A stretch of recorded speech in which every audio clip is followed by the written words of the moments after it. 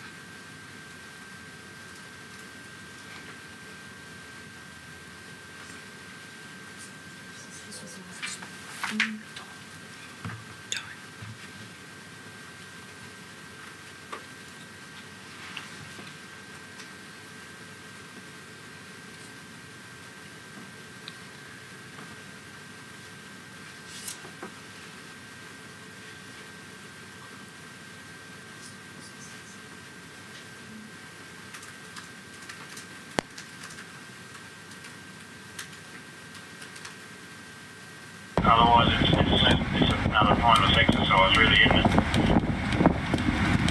Yep, I'd rather get them back later on. Well, this, this is going to be legit though. I'm not being able to try to tidy up. I'd rather get them back into another burn back situation or, you know, we'll, we know we can use them. Because tonight I think we're going to be just chasing their arms, probably not achieving a lot. Yeah, uh, we're following that. When I leave, uh, Rob McGinley's strike team on the original arrangements, send them home when they've got to go home, and uh, potentially get them back in a day or two if needed. Yeah, we're following that.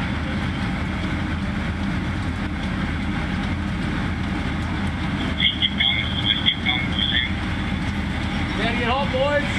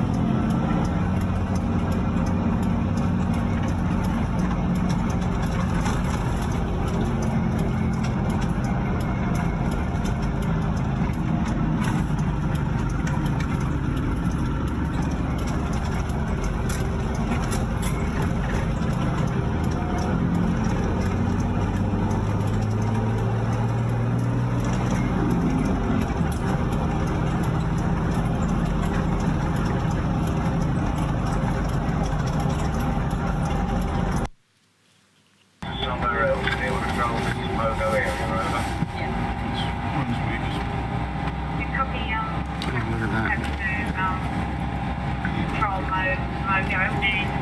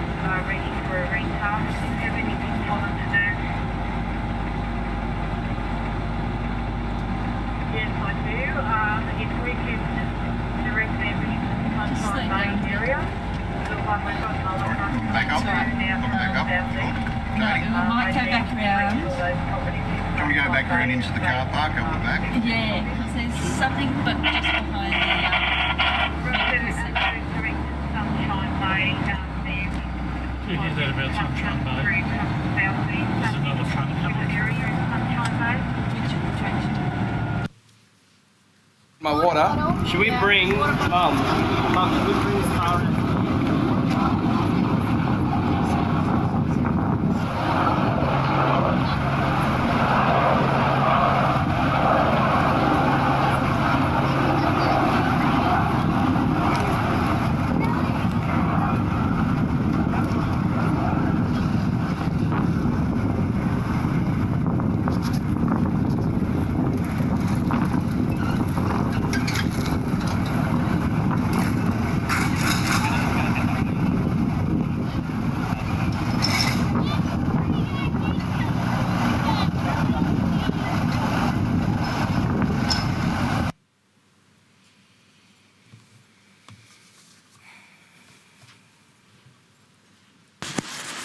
Telling. Thank you, Ms Hogan Doran.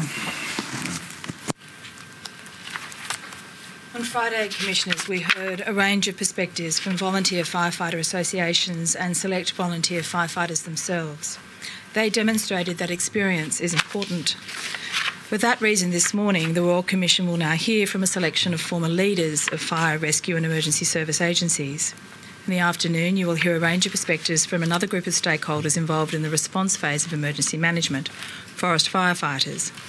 As Mr Glover mentioned on Friday, these voices are not the only word, or even the last word, the Commission will hear on this topic. This point presents an opportunity for me to further explain our approach to the content of the further hearings of the Royal Commission. First, to be clear, today's evidence is not limited to rural or country firefighting, nor is it restricted to the 2019 2020 bushfire season. Despite what may be said from time to time in correspondence to the Royal Commission and in media commentary, this is not the Bushfires Royal Commission, however convenient it is, of course, to refer to it in that shorthand manner. Commissioners, your terms of reference are far more wide ranging and mandate an inquiry into all national natural disasters, not just bushfires and not just the 2019 2020 bushfire season. This is not an insignificant task. To this end, a very large amount of material has been provided to the Royal Commission by the states and territories in answers to far reaching compulsory notices to give information. Of course, it has been necessary to issue such notices in order for the Commission to address the terms of the reference of reference in your letters patent. That material has now been collated and will be tendered during the course of this week. It is very, very substantial, numbering some 10,000 pages of written responses. I stress these are just the written responses to the questions sent by the Commission some months ago. The tender will not include all the numerous frameworks, policies, and procedures also provided in answer to the Royal Commission's notices to produce documents. The written material from the states and territories is extensive, mostly comprehensive, and has been prepared, at least as we understand it, with the assistance of expert legal representation and other valuable resources that are available to such sophisticated parties granted leave to appear. The Counsel Assisting Team is therefore confident that you need not feel obliged, Commissioners, to receive oral evidence from all of the very many state and territory officers who could speak to the matters canvassed by those responses. Although, of course, some such officers have already been and will continue to be called to give oral evidence on particular matters. Our approach to the evidentiary process has been reinforced by the very short time frame that this Royal Commission was given by the Governor General and each of the state and territory governors on the advice of their respective executive governments, and with the added operational limitations which have since been imposed by the ongoing global pandemic. Commissioners, as you know, one of the courses you have pursued is to direct the publication of several issues papers in an attempt to elicit insights and submissions on key topics arising from the terms of reference and to inform the conduct of the oral hearings. Although some states and territories have sought to assist you by responding to these invitations within the limited time period specified, others have not. It was the preference of the Counsel assisting team to have the benefit of relevant submissions on the most recent issues paper on firefighting equipment and personnel prior to calling as witnesses the volunteer firefighters on Friday. Nonetheless, Counsel assisting support those states and territories which have not yet responded having an opportunity to make a submission to that issues paper, as well as the evidence provided during last Friday's hearing. Counsel assisting will tender the responses to the issues paper as soon as those responses from key stakeholders have been processed. To assist you in digesting this vast body of material, I will shortly tender a series of diagrams which have been confirmed by each of the states and territories' representatives as describing their organisational arrangements for emergency management. In addition to that diagram for each state and territory, a second diagram has been prepared, um, and these will also be included in the tender. The second diagram is the Office of the Royal Commission's attempt to simplify and standardise the description of arrangements so that they can be more readily compared with each other. A glossary with a brief description of the roles and functions of the key agencies referred to in the diagrams is also to be included.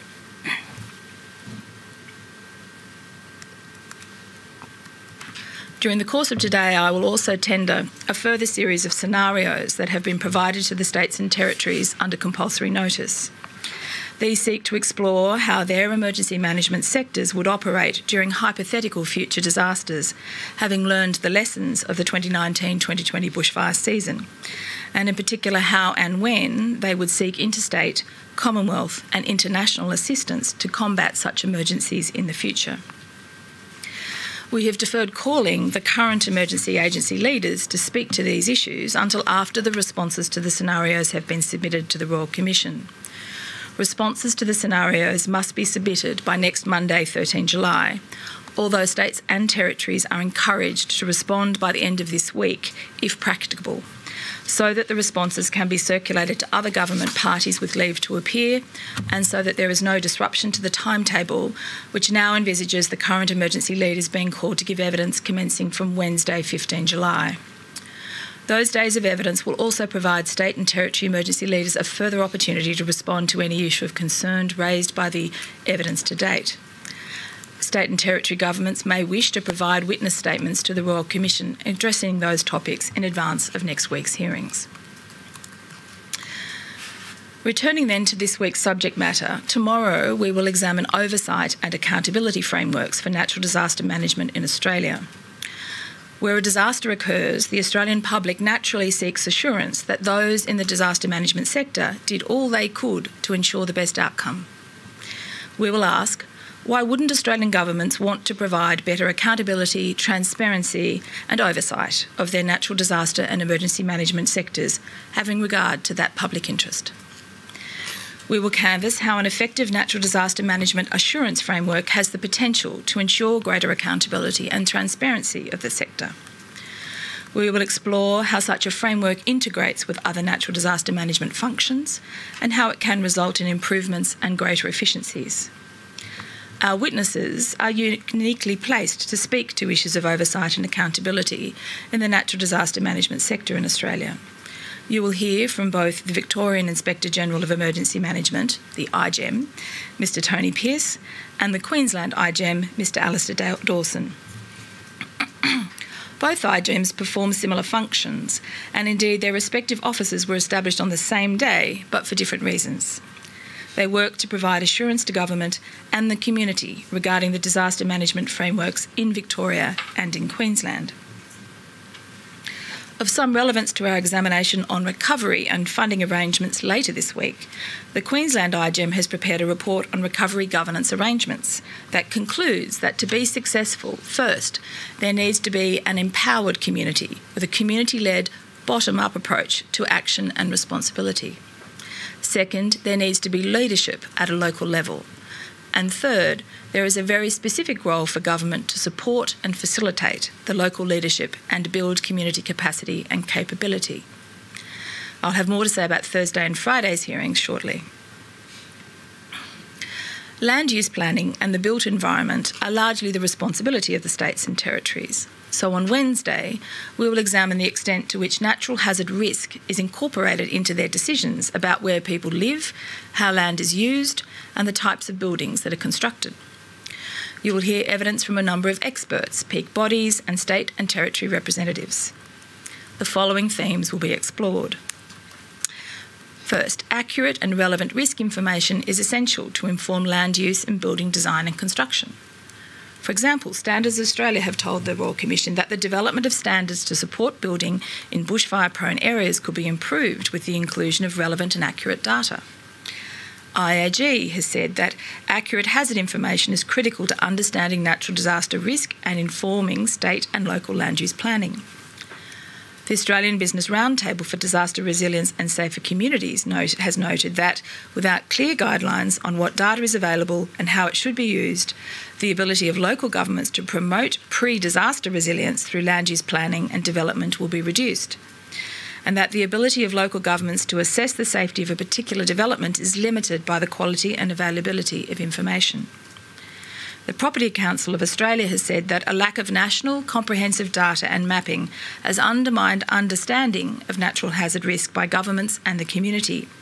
This has contributed to poor planning decisions, leading to property development in areas of significant risk. The next proposition natural hazard risk information is often insufficient or insufficiently integrated into land use planning schemes. The Insurance Council of Australia has said that although land use planning has improved in respect of, to reducing disaster risk reduction, there is still clear evidence of recent planning decisions placing communities at a known and obvious risk of disaster. Risk Frontiers argues that land use planning needs to be improved to reduce the chance that future developments are exposed to unreasonable risks. For example, acknowledging the increased risk of damage the closer a property is to bushland. And IAG says that with sound and consistent government controls, there is little to prevent ongoing building in locations of extreme vulnerability. Improved land use planning will involve a commitment by government to develop national land use planning criteria that prohibits inappropriate land use in Australia. Next, proposition the risk to existing structures and settlement areas, which can change over time, are not adequately addressed in land use planning regimes. For example, the National Parks Association of Australia says that a limitation of the statutory framework for assessing and approving development in New South Wales is that it only applies to those new developments that are seeking approval through the planning system. There is no requirement for pre existing development to be retrofitted to provide increased resistance to bushfire. The Insurance Council of Australia notes that while newer buildings remain vulnerable to extreme weather, older buildings are more susceptible to damage due to being constructed to a standard lower than that required by the present day building code, or becoming vulnerable as a result of wear and tear, pre existing damage, or general degradation. Therefore, measures targeting the quality of older buildings should focus on addressing these vulnerabilities. The Bega Valley Shire Council noted that the bushfire attack level experienced in the Bega Valley exceeded previous expectations, with fire affecting many properties that were not pre- previously considered bushfire prone. The current bushfire prone land maps and bushfire attack levels do not consider the impacts of climate change on fire frequency and intensity. And finally, this proposition an individual can be unaware of the risks to their properties and that the risks may change over time. The Financial Rights Legal Centre argues consumers currently have limited access to natural hazard data in easily digestible formats and very little motivation to seek it out and use it. Consumers do not have the information that a local government or their insurer has to take appropriate steps to mitigate the natural hazard risks to which they are exposed. And finally, the Planning Institute of Australia has said that there is a need for mechanisms designed to ensure that bushfire safety continues to be a priority for building owners. On Thursday and Friday, you will hear from representatives of the states and territories concerning recovery and funding arrangements and suggestions for how these may be improved. Commissioners, as you may recall from my opening to the hearings on local government on 22 June, The Royal Commission has received a large number of submissions about the lived experience of obtaining recovery support, as well as submissions and responses to compulsory notices describing recovery issues from a local government perspective. There is a common desire from councils for additional support in the area of recovery. That said, not all accounts were negative. Midwestern Regional Council described the great support to recovery efforts it received from the newly established Resilience New South Wales and how useful this was for a local government area which had not experienced that level of impact from a natural disaster previously. Both the City of Gold Coast and Scenic Rim Regional Council in Queensland noted the value they see in having the Queensland Inspector General of Emergency Management assist in maintaining a disaster management standard and identify best practice throughout the state. In his review of recovery arrangements in Queensland, which I earlier mentioned, the Queensland IGEM found that the greatest opportunity for enhancing recovery was in improving the way in which recovery is perceived. For many at a local level, we gathered the impression of recovery as a poor cousin to response. From some at a state level, they heard uncertainty or disinterest about roles in recovery the IGEM saw an opportunity to change the culture about recovery, to kindle the determination to make this long, complex, and emotionally charged stage of disaster management work even better. The disaster recovery funding arrangements is dependent on the states and territories and the arrangements they have in place. This can result in inconsistency in the delivery of recovery assistance across jurisdictions and delays in processing claims by local governments.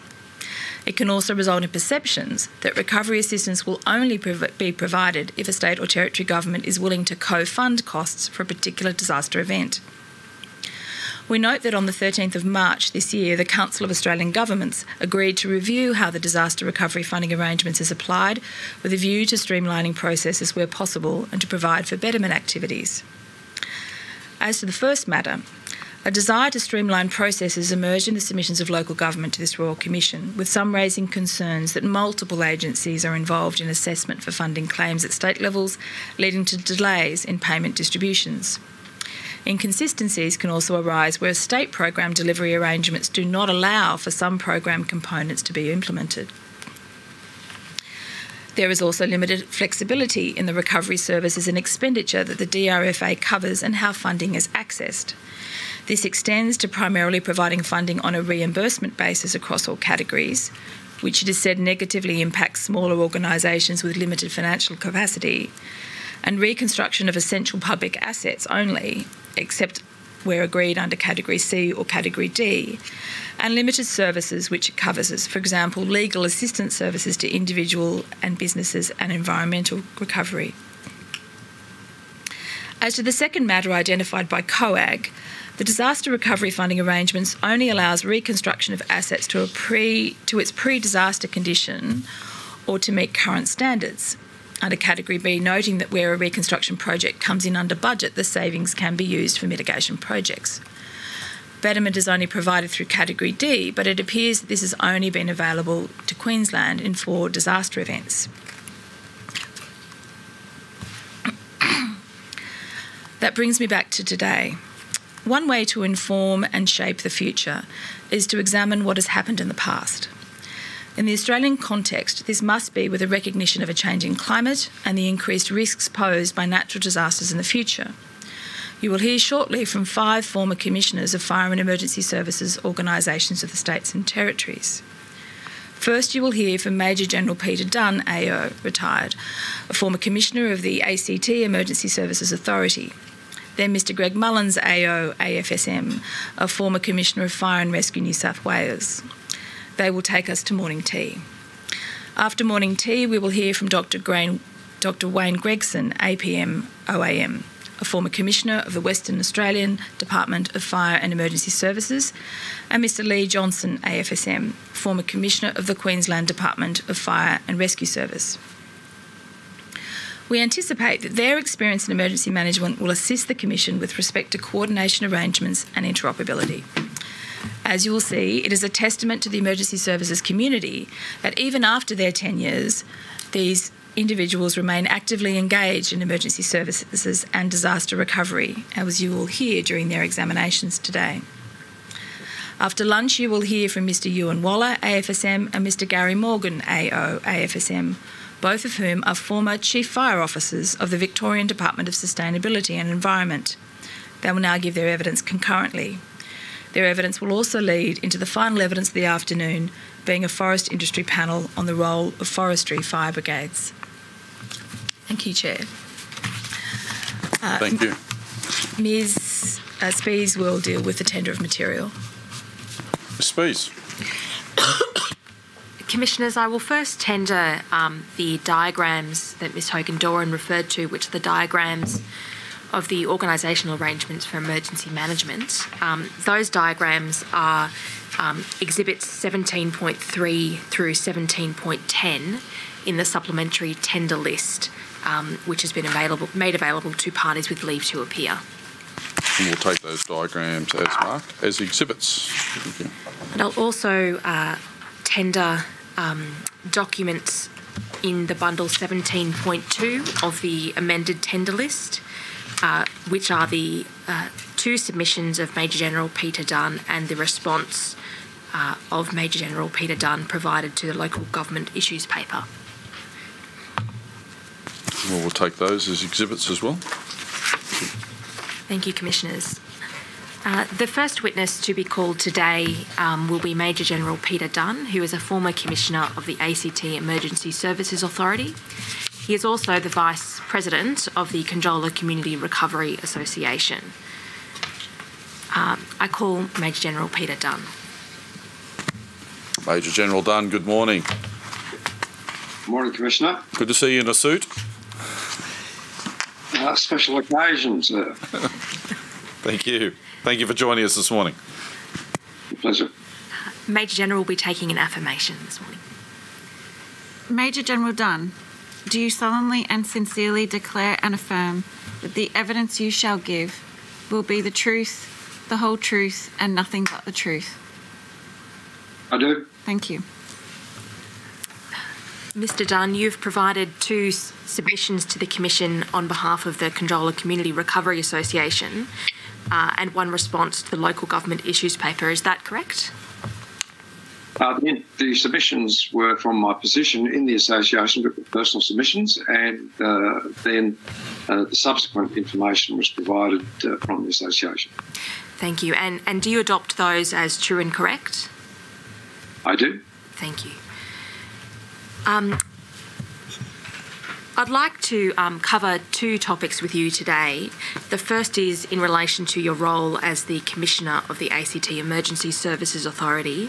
Um, and then, secondly, I will turn to your more recent experience at Lake Conjola during the 2019 2020 bushfires.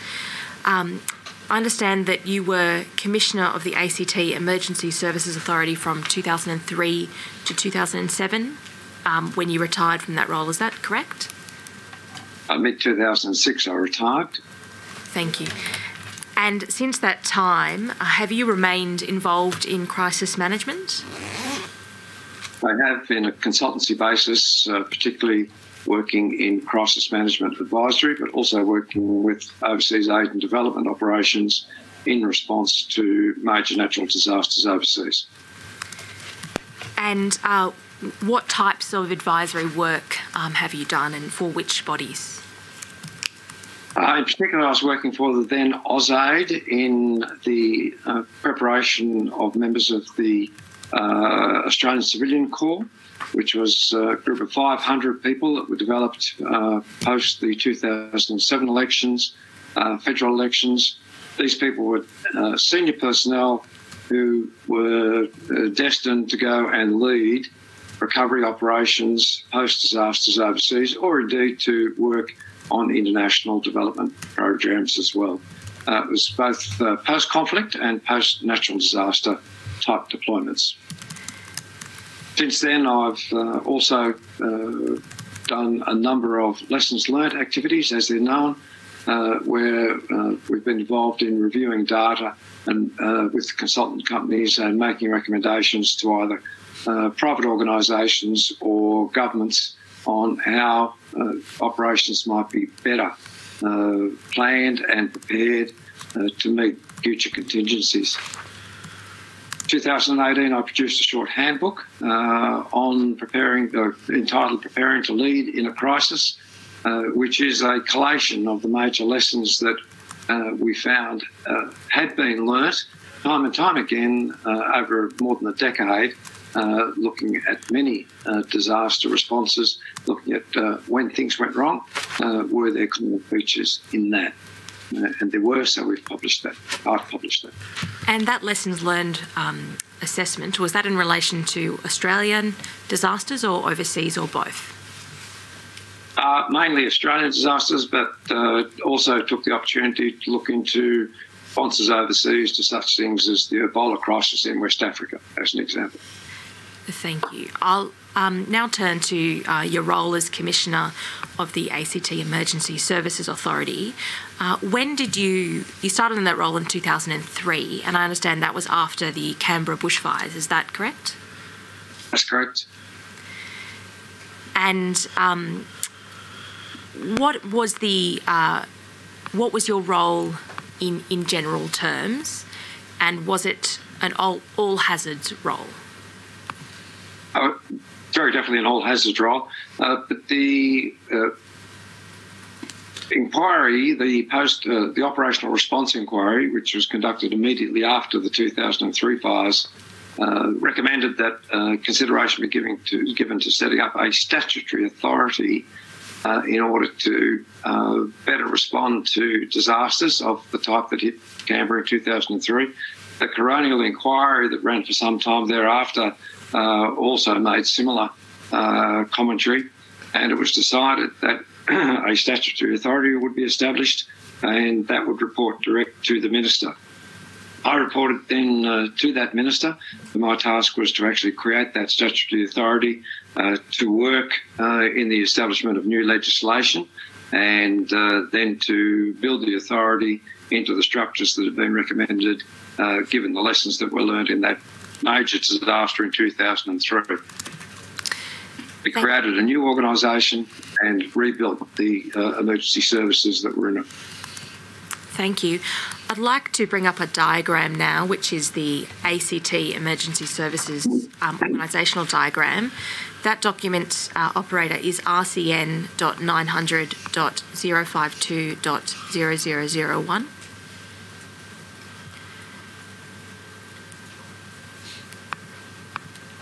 it's it's quite a small diagram. We might just zoom in a little bit um, into the top section. Thank you.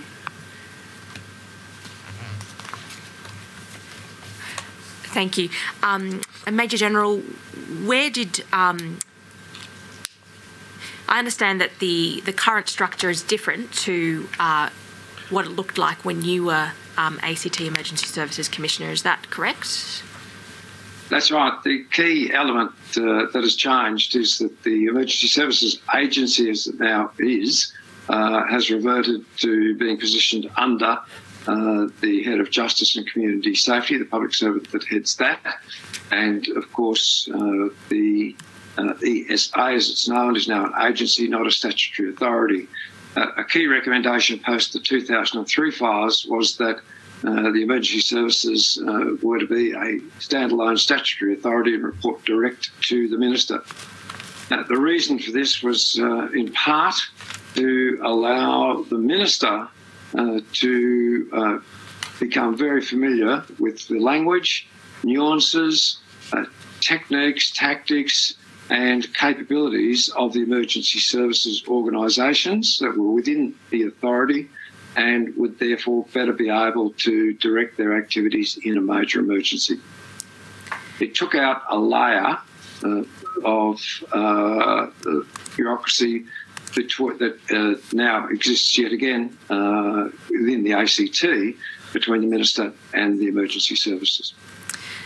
Thank you. Um, when you commenced uh, in your role as Emergency Services Commissioner, were the ACT um, emergency response systems and equipment and communications interoperable uh, within the ACT and with the New South Wales systems and equipment? Oh, there's a fair degree of interoperability within the ACT, but they were not necessarily interoperable with New South Wales, and the ACT was an island with its own communication system within New South Wales. So there were interoperability issues, and of course, uh, interoperability also turns to training as well, and training of the uh, more senior people in the organisation. And during your time as an ACT Emergency Services Commissioner, uh, did that change? Yes, it did. The uh, communications were one of the first issues that were tackled in the creation of the new statutory authority, and uh, that was because of the interoper- interoperability issues that had uh, uh become evident during the disaster in, in January 2003. Uh, the end result was that we brought the New South Wales communications system uh, into the ACT it, it operated as a, a, separate entity within New South Wales, but using exactly the same equipment. And uh, that then gave us reliability, availability, and maintainability. And uh, we made that transition very quickly and very efficiently, and that removed the communications issue. It did not remove the training issue uh, because, again, there was a legacy of people doing their own thing uh, within their own jurisdiction, that is. Uh, and that took much longer to change. It's a change management issue in relation to people. But the technical change was made very quickly and then removed the issue that was such a problem during the fire response. And why was. Um, uh, sorry, I, I'll withdraw that. In, in relation to the training, is, is that in reference to training in, in using the New South Wales systems? No, it's overall training. Uh, there is no national uh, training institution for fire, senior fire service officers, and uh, therefore you naturally grow up uh, within the framework of your state or territory, and uh, that uh, does produce a barrier to interoperability. In the case of radio communications, the equipment change was easy the people change, changing the mindsets, uh, was a somewhat more difficult proposition. In terms of changing the equipment over, um, how long do you estimate estimate it took you um, to make that change? We did that within a year, and uh, we did it. Uh, uh, at, at, a much reduced budget. Uh, we did a, a, massive budget saving on that. That again comes back to the fact that we selected uh, what was a very efficient system that was operating in New South Wales, and we chose to bring that into our small island, and that was a, a relatively simple technical task. Uh, there was resistance though, because a lot of people had invested goodwill and energy in developing and maintaining the system that did exist in the ACT. Uh, those people naturally felt reluctant to uh, just walk away from that and bring in something from New South Wales. So we had to work very, very actively with those folks to say it was not that they'd done anything wrong, uh, but rather for the community's sake, we needed to have interoperability and we were going to bring in the system that existed all around the ACT. Uh, it was a no brainer to do that. Uh, but nonetheless, the people had to be managed carefully and sensitively because they devoted a lot of effort and energy into doing the best that they possibly could with the system they had. The fact was they were not interoperable, and we made interoperability the prerequisite and uh, worked from there. But the technical changeover was relatively easy. It was a people issue, and as it turns to training, and each state and territory operates totally independently in that training area, particularly in their officer uh, ranks. And uh, we had to spend a lot of time uh, making sure that we uh, had a single view. Thank you. Um, you mentioned that the, the ACT was a, a, small island in within New South Wales. Um, what barriers do you see to making a similar change to achieve interoperability nationally? Be the, uh, the, question of uh, mindsets. Uh, I don't think you'd find a single firefighter uh, or emergency uh, service responder who wouldn't agree that we need to have interoperability. Uh, but then you have to train that from uh, the top down. And uh, interoperability is not just about communications or hose couplings, it, it's about the way we think and it's about the way people go about their business. For example, when a, a superintendent appears uh, from interstate, you need to know that that superintendent is as well qualified as, I say, a superintendent from the state that you represent. Uh, but they do different things, so you have to go through a period of finding that out. In relation to communications, uh, then the same thing applies. Uh, we need to make sure that everyone understands the capabilities that are coming in. There are many good systems uh, that are in operation uh, around the country. Uh, it is a question of selecting a system that is probably the best, selecting an existing system, and moving that to the other services. So uh, there will be uh, technical issues, there are obvious cost issues, but the biggest issue will be people's resistance because they've worked so hard to build the best system they can in their state. Thank you, Mr Dunn. Um, Commissioners, I was going to um, move uh, to the question of um, uh, to a separate question, but if Commissioners, if you had any questions in relation to interoperability before I move on. I think we'll just progress, we'll have a couple of questions for Major General Dunn uh, towards the end. Again, more on information and, uh, and the like. Um, in your submission to the Commission, Major General, you recommended that when a state of emergency is declared, um, a controller at a local government level be appointed. I wonder if you could um, explain explain that um, and, and why you've recommended that. Yeah, I, I think uh, in, in a lot of what I've been uh, reading and watching as uh, the Royal Commission has progressed, and also the New South Wales Independent Inquiry into bushfires, uh, I'm, I'm, I'm not seeing as much recognition of the massive effort that local government has to go simply go to simply to restore its own services uh, after a disaster of the size that we have here. Climate change has put us in the position where we have uh, an impact over entire local government areas, and in the Black Summer recently, it's over the entire country. A local government has to restore the roads and uh, has to get its own viability back with looking at uh, revenue, and in particular, it has to restore, restore waste services.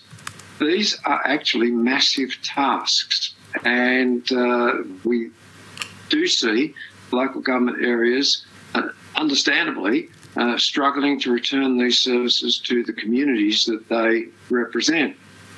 Now, somebody needs to, I believe, uh, be in a position in those local government agencies, uh, local government areas, I should say, uh, to actually exert a very serious direction and coordination of the resources. And uh, the people that uh, I would envisage fulfilling that role in local governments would be ones who had, do have training, uh, particularly in preparation and recovery. Uh, the response will come from the response agencies, but preparation and recovery is something that uh, definitely needs to be considered. Uh, and once we are in the recovery phase, very serious decisions have to be taken over the allocation of local government area resources.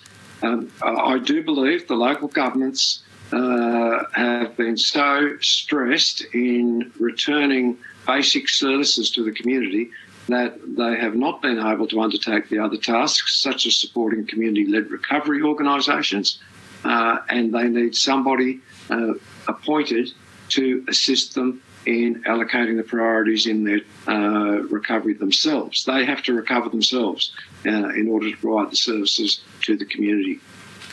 Uh, moving um, to uh, community led recovery, um, I, I, understand that uh, um, you are involved in the community led recovery in Conjola as the Vice President of the Conjola Community Recovery Association. I am now a, a humble committee member and no longer the Vice President. Um, as as we uh, move into the rebuilding phase. But I, uh, yes, I, I, started off as the coordinator, one of the two coordinators, and uh, then was vice president. I'm now a humble committee member. This morning, the Commission uh, saw a video of the evacuation um, at Lake Conjola on the beach.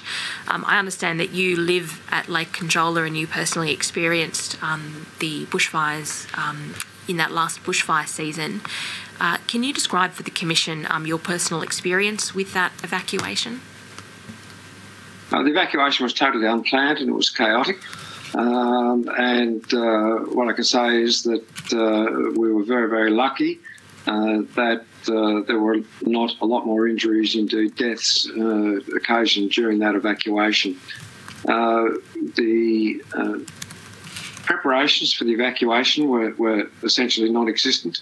And it was a question of people literally throwing themselves into Lake Conjola uh, some quick thinking people organised power boats and jet skis to go west up to the uh, western end of the lake where the biggest impact was at a place known as Conjola Park and uh, ferry people uh, down to the beach. I had great difficulty in doing that because uh, of shoaling in the river. the river, sorry, the lake, I should say, the, the lake mouth uh, has been a, a, a, contentious issue and that it is not navigable at the moment down to the beach.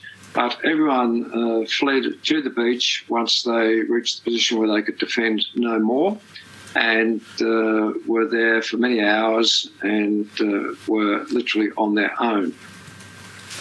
The people that uh, evacuated included uh, thousands of campers. There are three very large camping areas in the Conjola area. Some 5,000 uh, tourist campers were there, uh, many with young families, the majority with young families, I'll probably say. And uh, they uh, were terrified. The temperatures were high, the smoke was intense, the noise was intense.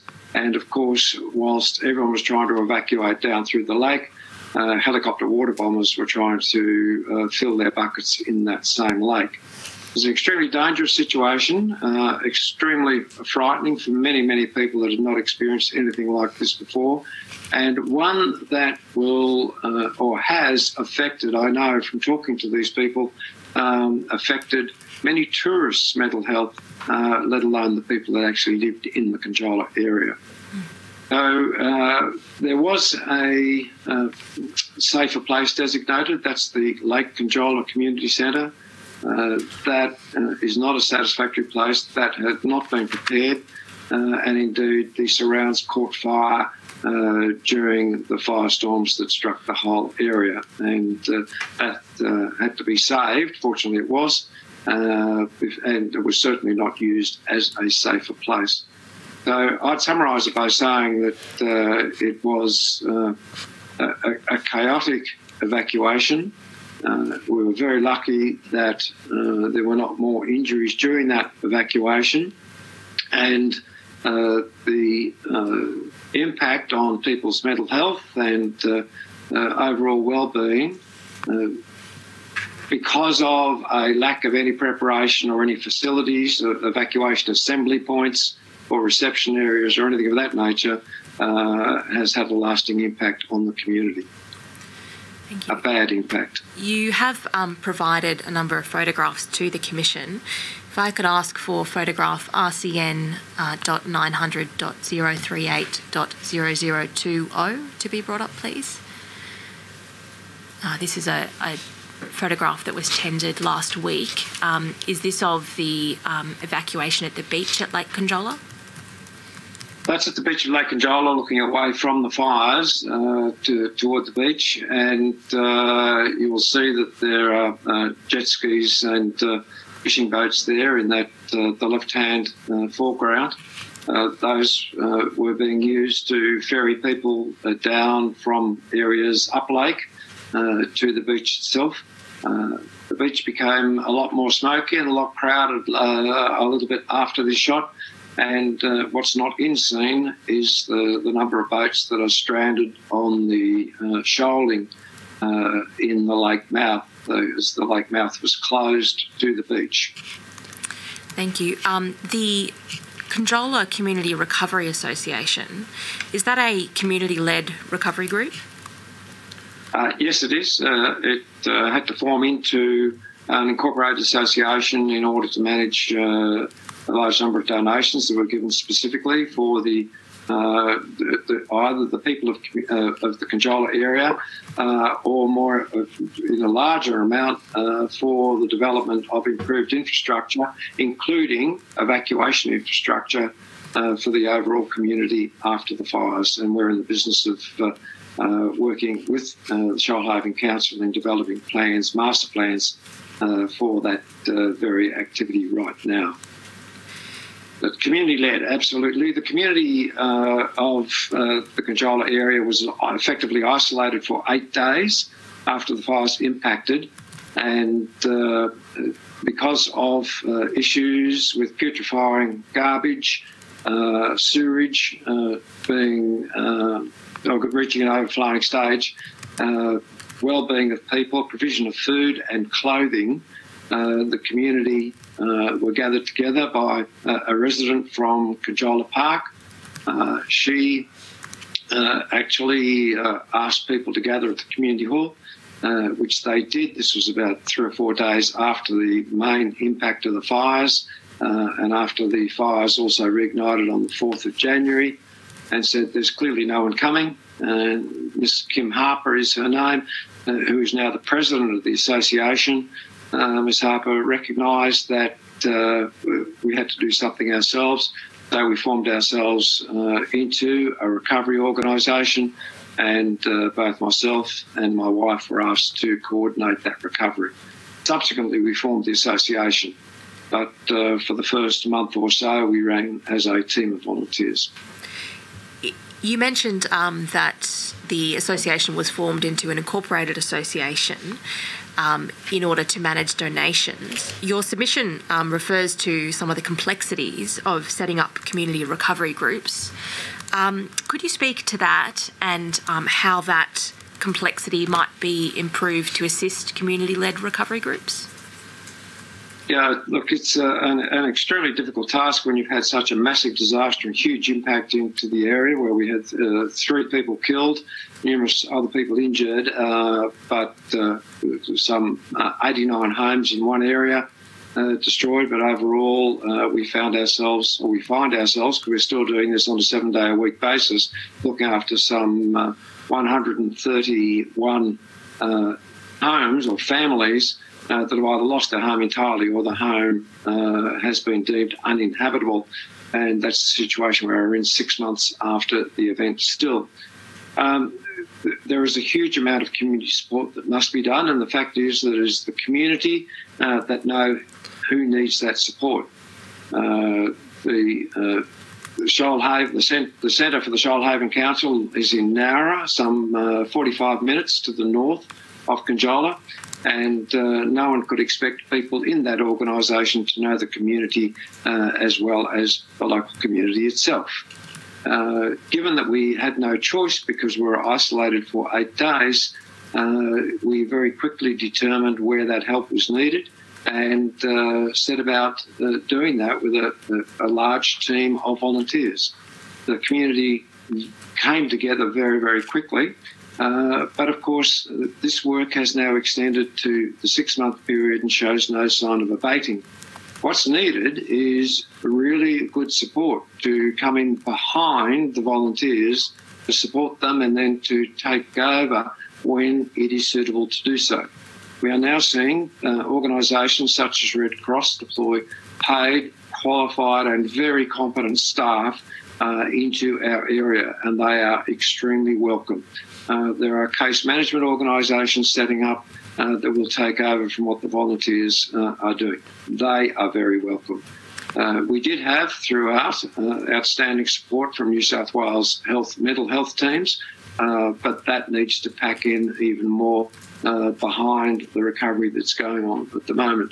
And of course, I mentioned the uh, large number, tens of thousands of dollars in the event uh, of donations that were specifically given to Uh, us uh, and uh, uh, clear directions that they were to stay uh, in this local community, hence necessitating the setting up of a charitable fund and other processes around that.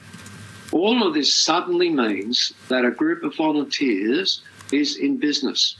And we need uh, any of the recovery teams, and I've spoken to many up and down the coast, we're in, we're in close connection now. We need uh, to have uh, a uh, support person or persons move into the community to help the volunteers. Not to take over from the volunteers, but to help for the volunteers and also to give guidance to the volunteers uh, as to what should be done with the funds. What's the best way to manage the organisation? How do you manage disputes within the organisation? Because there are tensions there. It's not sweetness and light just helping everybody. And given that everybody uh, who is volunteering, bar one or two, uh, have been in this disaster themselves, they too have suffered a degree of trauma. So it seems to us that the most simple thing to do immediately is in future uh, plan for state level, uh, perhaps New South Wales resilience, uh, in our case, in New South Wales, officers to come in and work to support those community led volunteers. Uh, they will always be there. They will be the first point of call. The volunteers will know where to apply that assistance, uh, but they definitely need support to do so. We are seeing such large scale events that communities now are key to both uh, the preparation, some of the response, and the recovery. And those communities need now to be directly supported. That's a fact of climate change. Uh, they are extreme events, large scale uh, in terms of area, and we need uh, some form of, I believe, nationally uh, designed uh, and then delivered through the states, probably, and territories, uh, support by way of full time personnel. Thank you. Um, you've also referred in your uh, submission to the impact of the loss of telecommunications on the community and the way in which that was restored. Are you able to uh, please describe that to the commissioners? Yes, the uh, loss of communications uh, obviously is uh, a major blow to any any community, and uh, it was total in our case, and uh, we was only connected to the outside world by listening to ABC uh, when they were conducting their emergency broadcasts, which they did exceptionally well, and to uh, the local commercial radio station 2ST. Uh, but the ABC was on constant emergency broadcast. But uh, after one or two days, when you are listening and can't respond to uh, the radio broadcasts, uh, it, it starts to become quite unnerving sitting there for some uh, 45 minutes each time listening to the roll through of uh, what was happening outside. All of the apps, of course, were useless, it could not be used. Uh, and any reference to the uh, fire, uh, look at fires near me or look at traffic live um, it was met with uh, some derision after about day two, given that no one could get those apps up. So, if I could just pause it, you there, um, was that because because of the absence of telecommunications that those apps? No, because of telecommunications because of telecommunications, we had no internet access because the mobile towers went down uh, and, and uh, took an extremely long time to come back. Uh, they were they were severely damaged in our area. The solution uh, arrived in the form of the NBN, who uh, arrived without notice uh, and literally said, "What can we do to help?" And uh, established a satellite link. Firstly, through what they call uh, muster truck, using the Sky Muster satellite that they have. Uh, this mobile vehicle arrived. Uh, that provided uh, support to the recovery volunteer team, uh, but also to the community. we had a quick discussion, and literally within about 48 hours, NBN had provided and, and installed, with our help, uh, a satellite dish on the community centre, which had opened up as the uh, Recovery Support Centre.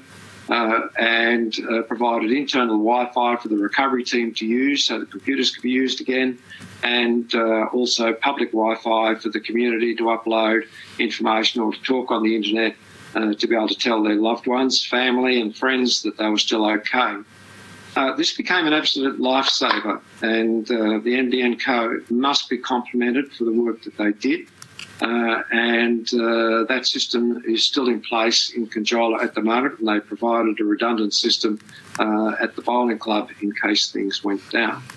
Now, that gave us a satellite link which uh, we'd previously been unable to have, even as local consumers, because the uh, link into the NBN is by fixed wireless in our area. there needs to be the opportunity for a satellite link uh, to various uh, centres, RFS brigades, SES uh, headquarters, and the like provided all over this country to allow communications to jump over natural disasters. We had outstanding communications after about two weeks, and uh, that was literally a lifesaver on occasions. So uh, that is something that I believe uh, is an exemplar. That is the, the work that NBNCO did is an exemplar of what we can do very cheaply, very quickly, and produce a very effective emergency communications system. Thank you, Major General. Commissioners, do you have any questions um, for Major General Dunn? Just um, appreciate the, the, time. Just one question for the for the Major General, and it goes back to the information uh, side of it. And uh, it's become quite apparent to the Commission. Uh, timely decisions require timely and accurate inf information. Uh, there. Can I just go to the Major General's own submission? I just want to put that fires near me app picture up, which is uh, NND.001.00363.01 underscore triple zero three. And it's really just to uh, put this up, and I understand uh, Major General Dunn, there, there has been issue, and, and you allude to it about backburning and, uh, and the, the like not being factored in. But also note that this is uh, this is the 31st of December, the, the fire spread prediction uh, there, and we get to a situation where it didn't all happen overnight. But I'm just interested in the, the couple of days leading up up to this about uh, local government involvement and uh, what might have happened from state government or whatever about evacuation plans or updating uh, the evacuation centre or any plans that might or might not have been in, in, in place. If you could just talk to, to, from a community perspective, being there and looking at this develop, please. Uh, from the Conjola community uh, perspective, we've been watching the Currowan fire, as it was now, uh, advance from uh, the south uh, since the 26th of November. And we've been uh, frequently comparing what was on the app with what happened on the ground. So we actually had a fairly high degree of confidence in what it was showing us. Uh, for reasons that are being investigated at the moment, uh, and possibly to do with which weather station was chosen uh, for the development of this map uh, that we see, the app in which there was a lot of faith did not show that the fire spread coming across the highway. A number of us who'd had some experience said that was highly unlikely because strong westerly winds were predicted. Now, the, impact of that was that people were not thinking in terms of evacuation.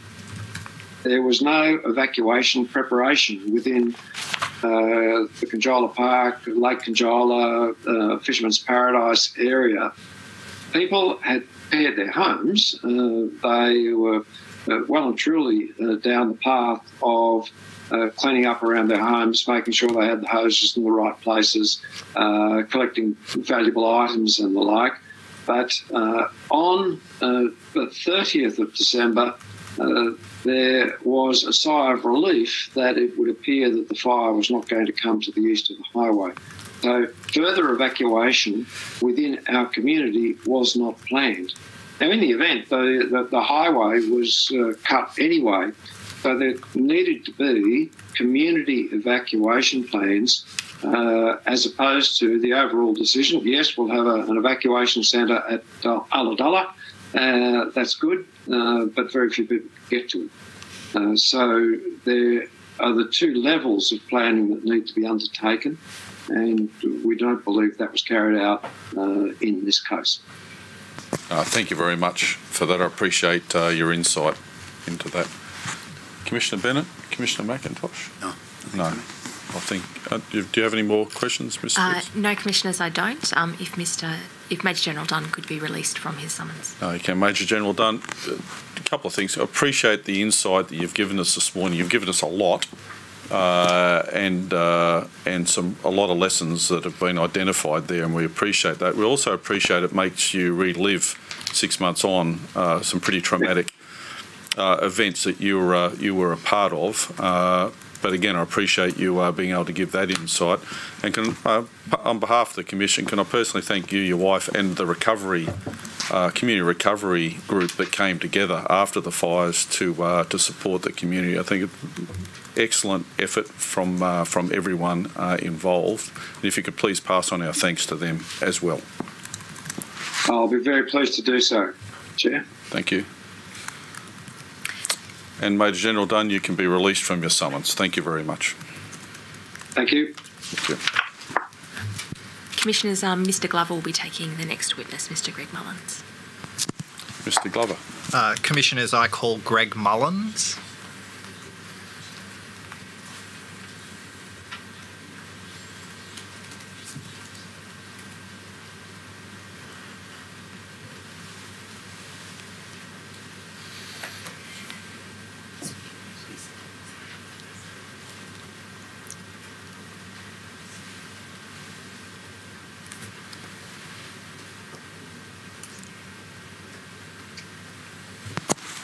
Mr. Mullins, good morning. Good morning. Uh, Mr. Mullins will take an affirmation. Associate, could you please administer the affirmation? Mr. Mullins, do you solemnly and sincerely declare and affirm that the evidence you shall give will be the truth, the whole truth, and nothing but the truth? I do. Thank you. Uh, Mr. Mullins, you were the Commissioner of Fire and Rescue New South Wales from 2003 to 2017, is that right? That's correct. And before that, you were the Assistant Commissioner from 1996 to 2000 and the Director State Operations from 2000 to 2003, is that right? Uh, yes, that's correct. And so the effect of those uh, positions means that you coordinated all major bushfire operations for fire and rescue New South Wales from 1997 to 2017. Uh, yes, a little bit of your audio dropped out, but um, I think the question was I coordinated activities. So it was basically 96 to 2017. I coordinated all bushfire activities. Excellent, thank you. That was my question exactly. Um, can you just um, describe for the uh, benefit of the Commission what is the role of Fire and Rescue New South Wales? Sure. Um, now, now, Fire and Rescue New South Wales is one of the combat agencies in emergency management in New South Wales. You have State Emergency Service, Rural Fire Service, Police Ambulance, and Fire and Rescue. Um, they look at Fire and Rescue New South Wales looks after fire districts established under its act, which are essentially all urban areas in New South Wales. Um, 186 towns and cities throughout the state, including, um, of course, Sydney, where there's around 100 fire stations, Newcastle and Wollongong, Central Coast, but also small towns um, throughout the state. Provide full range of emergency services, supporting the SES in some communities, um, doing medical first response with ambulance, but urban fire, bushfire, hazardous materials, and road accident rescue. Um, so, and in bushfires, the particular role of Fire and Rescue New South Wales is the urban bushland interface. So, it's one of um, bushfires is actually one of the largest roles for the organisation. Uh, thank you. Now, you retired from the role as Commissioner in 2017. I just want to ask you about what you've been doing since then. Um, and one of the things you have been doing is that you've returned to your role as a volunteer firefighter with the Rural Fire Service. Is that right?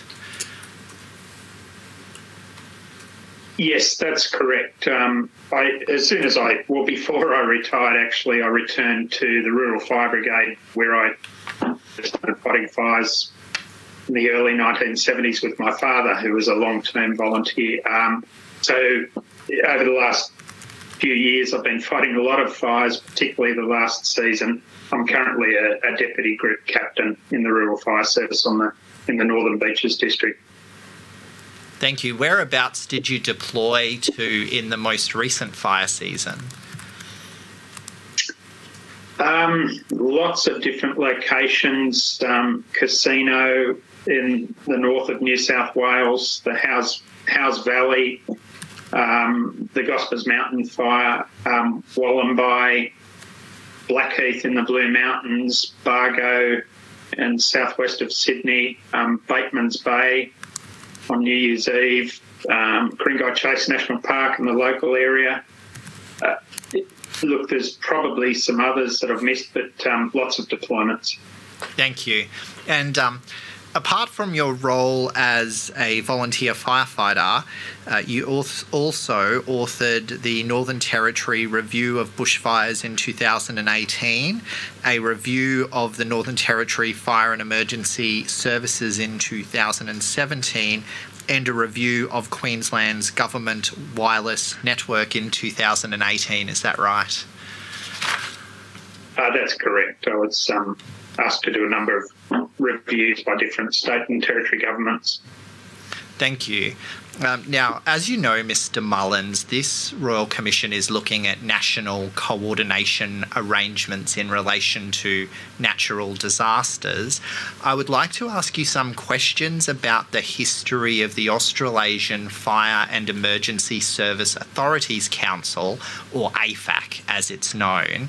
Um, I would like you to answer based on your experience of AFAC. And so please put your experience of New South Wales's arrangements to one side and consider the national perspective, please. Uh, you were deputy chair of AFAC from 2010 to 2013, and then AFAC's president from 2013 to 2016. Is that right? Correct. Um, can you please describe your understanding of how AFAC came to be? That is, its origins and background?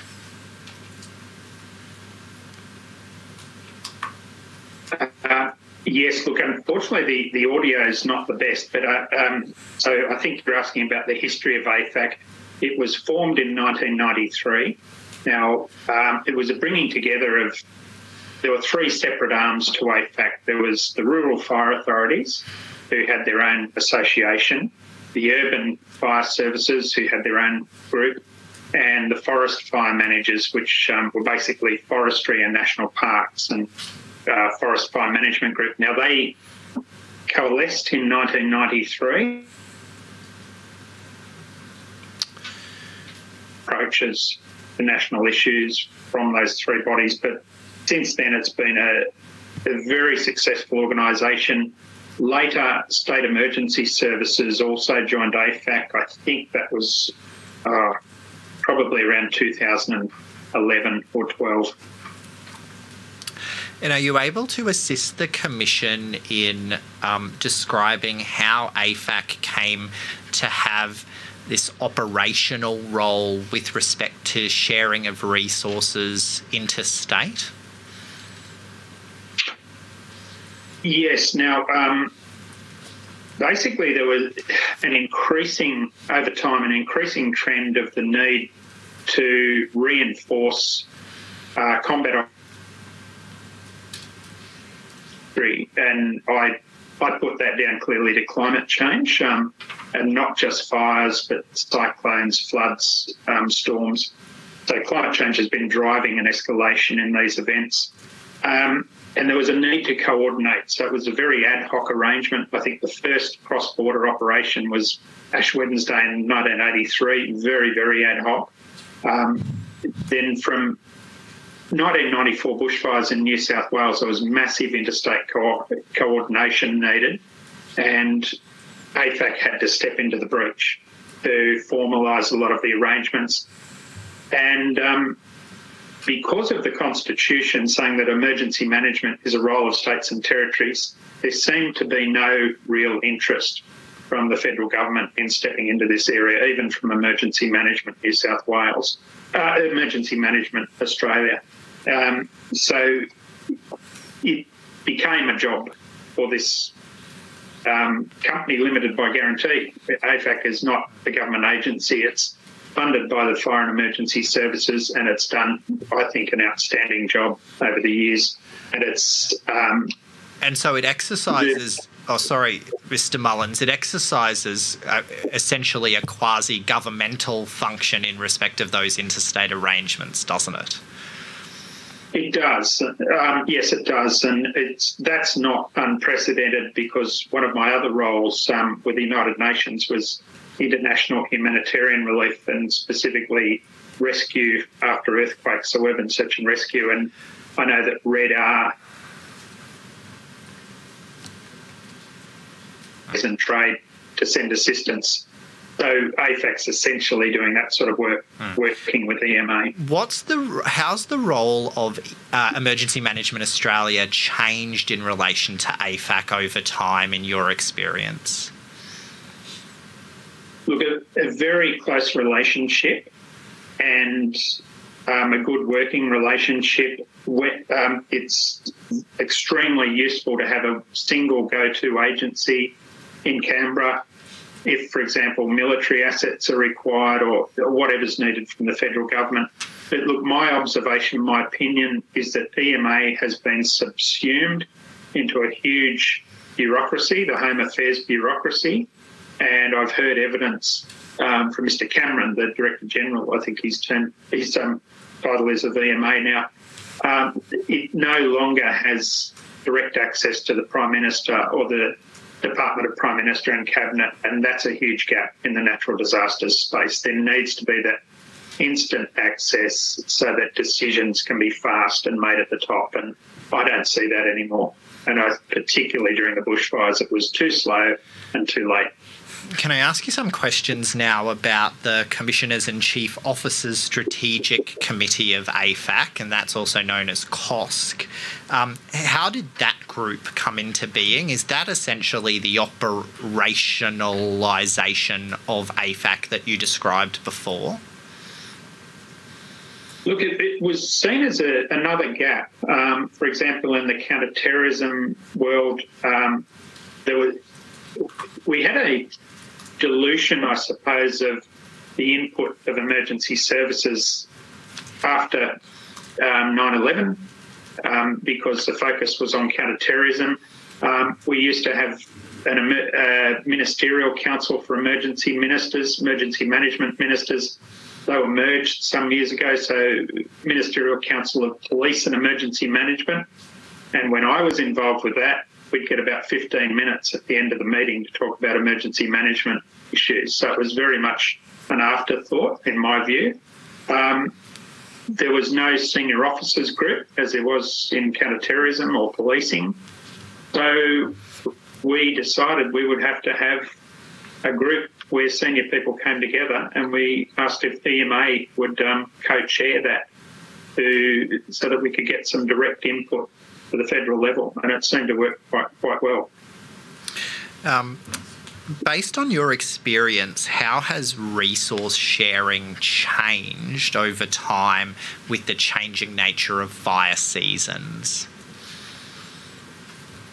Very, very difficult. And look, if I could just run you through um, very quickly um, New South Wales fires in 0102, New South Wales Victorian Alpine fires 2003, Canberra fires 2003, Cyclone Larry 2006, Cyclone George in WA 07, Black Saturday Victoria um, 09, Cyclone Yasi 11, but, and I could go on, but just about every year now, um, because of increasing frequency and severity of extreme weather driven by climate change, we're sending resources across borders.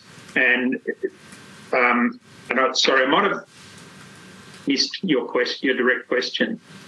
Oh, sorry, the complexity. Yes, so the complexity and the need for resources is becoming are more frequent. But the difficulty in sharing resources is that, for example, fire seasons used to be sequential and start in Queensland and move south over the months, and um, we could share fire trucks, aircraft, people. Um, we had a situation in 2019-20 where Queensland was burning, New South Wales was burning, Victoria was burning, um, South Australia was burning, and we had fires starting to kick off in Tasmania and some in Western Australia. So where do we get the resources? We had to bring them in internationally. They were still burning, and um, I was in California in November last year at the Kincade fire, and they're shaking their heads about the longer fire seasons driven by climate change, um, restricting our ability to share resources. Um, because you mentioned it, I was going to ask you this question in a little while. Um, some questions about your experience in firefighting internationally. And you had the opportunity to observe um, firefighting arrangements at that Kincade fire in November 2019, is that right? Uh, um, we didn't hear your audio, uh, Mr. Mullins, but I could um, read your lips and you said that's correct. Is that right? Yes. Uh, yes, now uh, it says my microphone's been unmuted. Yes, that's correct. Thank you. Uh, just for the Commissioner's assistance, the Kincade fire started on the 23rd of October 2019 and burned 77,000 acres or 31,000 hectares until the fire was fully contained on the 6th of November 2019. The fire was the largest of the 2019 California wildfire season and also the largest wildfire ever to occur in Sonoma County in California. Um, Mr. Mullins, of course, prior to that, you were deployed to a major brush fire in San Diego County, California in the mid 90s. Is that right? That's correct. And you were also a Churchill Fellow in 1995, and your research was on the use of aircraft and modern incident management systems in bushfire control. And you considered France, Spain, Canada, and the United States of America. Yes, that's correct just based on your observations of those other jurisdictions internationally, um, do those jurisdictions create a national operating framework for emergency management? Yes, they do. There's um, very well developed national arrangements and um, that incorporate national, state, and uh, regional emergency management uh, thank you. Um, what is done in particular in the United States to achieve interoperability between agencies and across jurisdictions? So there's a national interagency fire centre in Boise, Idaho, which I've visited, um, that essentially coordinates resources between the federal um, land management agencies. So the US Forest Service runs that, but there's Bureau of Land Management, Bureau of Indian Affairs. There's a seven agent, uh, five agencies, as well as the US Fire Administration. Through the US Fire Administration, those um, arrangements flow down to state and municipal fire departments. So there's a sharing, a national um, um, database of available resources. Incident management teams can move around the country. Teams of uh, specially trained firefighters, um, fire engines, and aircraft. So it's a, and the same sort of arrangements exist over the border in Canada, uh, the Canadian Interagency Fire Centre. They also administer um, international agreements, including with Australia.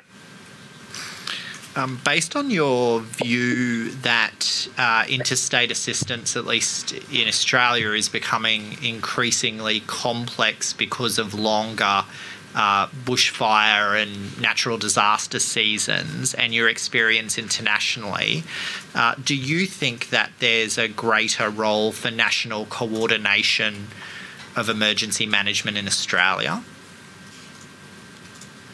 Yes, I do. Um, now, why do I say that? And it's because of the increasing frequency and severity of extreme weather events. And if I could um, put it into a bit of a military context, I'm not a military person, but I've been watching the enemy for 50 years now, and the enemy's geared up.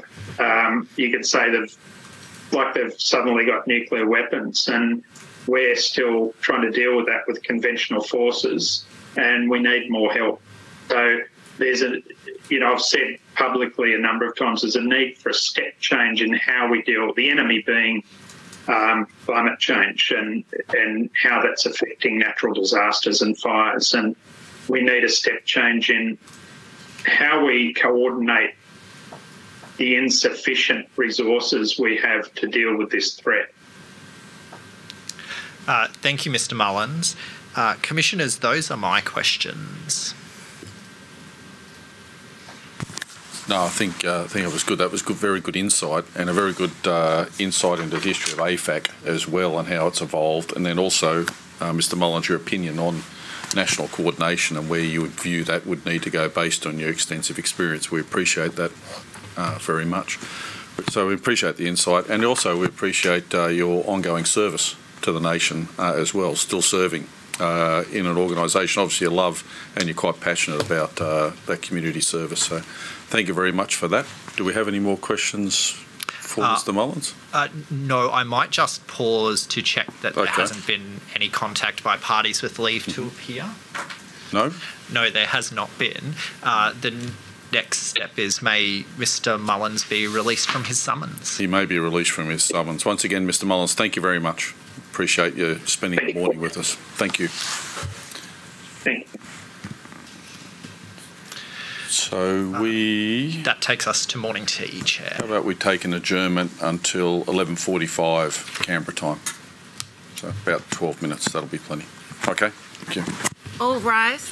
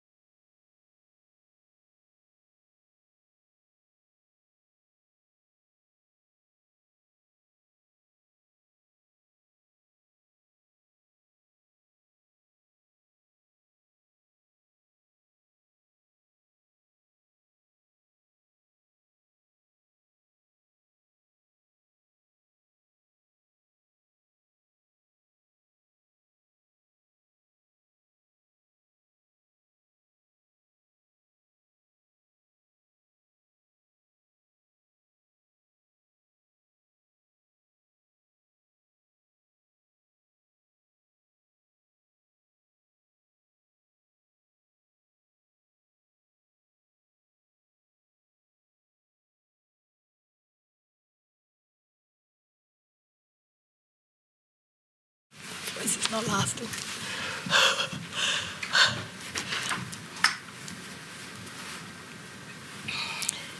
The Royal Commission has now resumed. Please be seated. Ms Hogan Doran. Uh, Chair, Commissioners, in the finest traditions of the bar, Mr. Mr. Glover and Ms. Spies are stepping in um, on and off today at short notice to take witnesses that I was supposed to take. We're going to see how I go with this one. Good luck with the voice. Thank you. I call Dr. Wayne Gregson.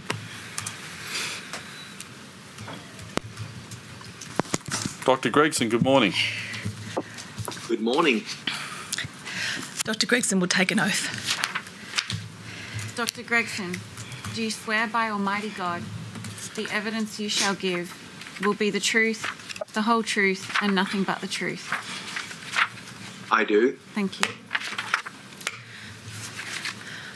Dr. Gregson, um, you were formerly the Fire and Emergency Services Commissioner of the Department of Fire and Emergency Services in WA. Is that correct? That's correct. Now, we'll just see how the connection goes with you. It was a little bit unstable then. Uh, you were in that role from 2012 to 2017? That's correct. All right. Um, what was your background? Sorry, but what was your background leading into taking on that role? Um, I was uh, a West Australian police officer from 1980 to uh, 2011. I then acted as the Chief Executive Officer of the West Australian Fire and Emergency Services Authority for 12 months before assuming the role of the inaugural Commissioner in 2011. And is that role of Fire and Emergency Services um, a, an all hazards role? That is, it not just uh, uh, what else is it capturing within it? It's all hazards, yes, that's correct. Natural hazards, uh, fire and emergency services, fire both rural and urban, and marine and rescue. As well. All right. Um, in the submission yeah. that you've provided to the Royal Commission, you outline a number of emerg- a very large number of emergency incidents, um, which uh, had a review or inquiry during the period of your term as uh, uh, as Commissioner, if we could just have drawn up uh, WGR 500 001, uh, 0067 and 0068. And have them put side by side, if possible.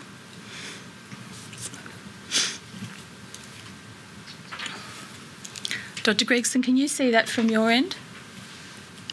Yes, I can. Right. Now, these are just the um, major incidents which had uh, a review or inquiry during the course of your term. Um, what is uh, notable amongst other matters is uh, one can draw a line, a chronology from from the right to the left and back again, seeing the consecutive cyclone and storm events and fire events uh, moving down through that timeline. Um, I'll just invite you to speak to the commissioners so they can have a sense uh, of the um, uh, uh, operational stance that is required uh, to meet these quite different hazards and manage these kinds of um, consecutive and, in some circumstances, compounding uh, um, uh, natural hazard risks.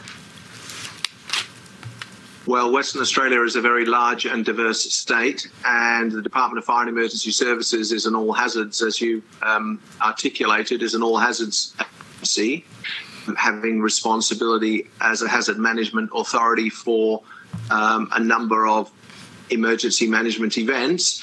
And it's also customary after event or post event to do a post event or post incident review. So what you're seeing articulated in those exhibits is um, a list of incidents whereby there would have been a review at the conclusion of that incident.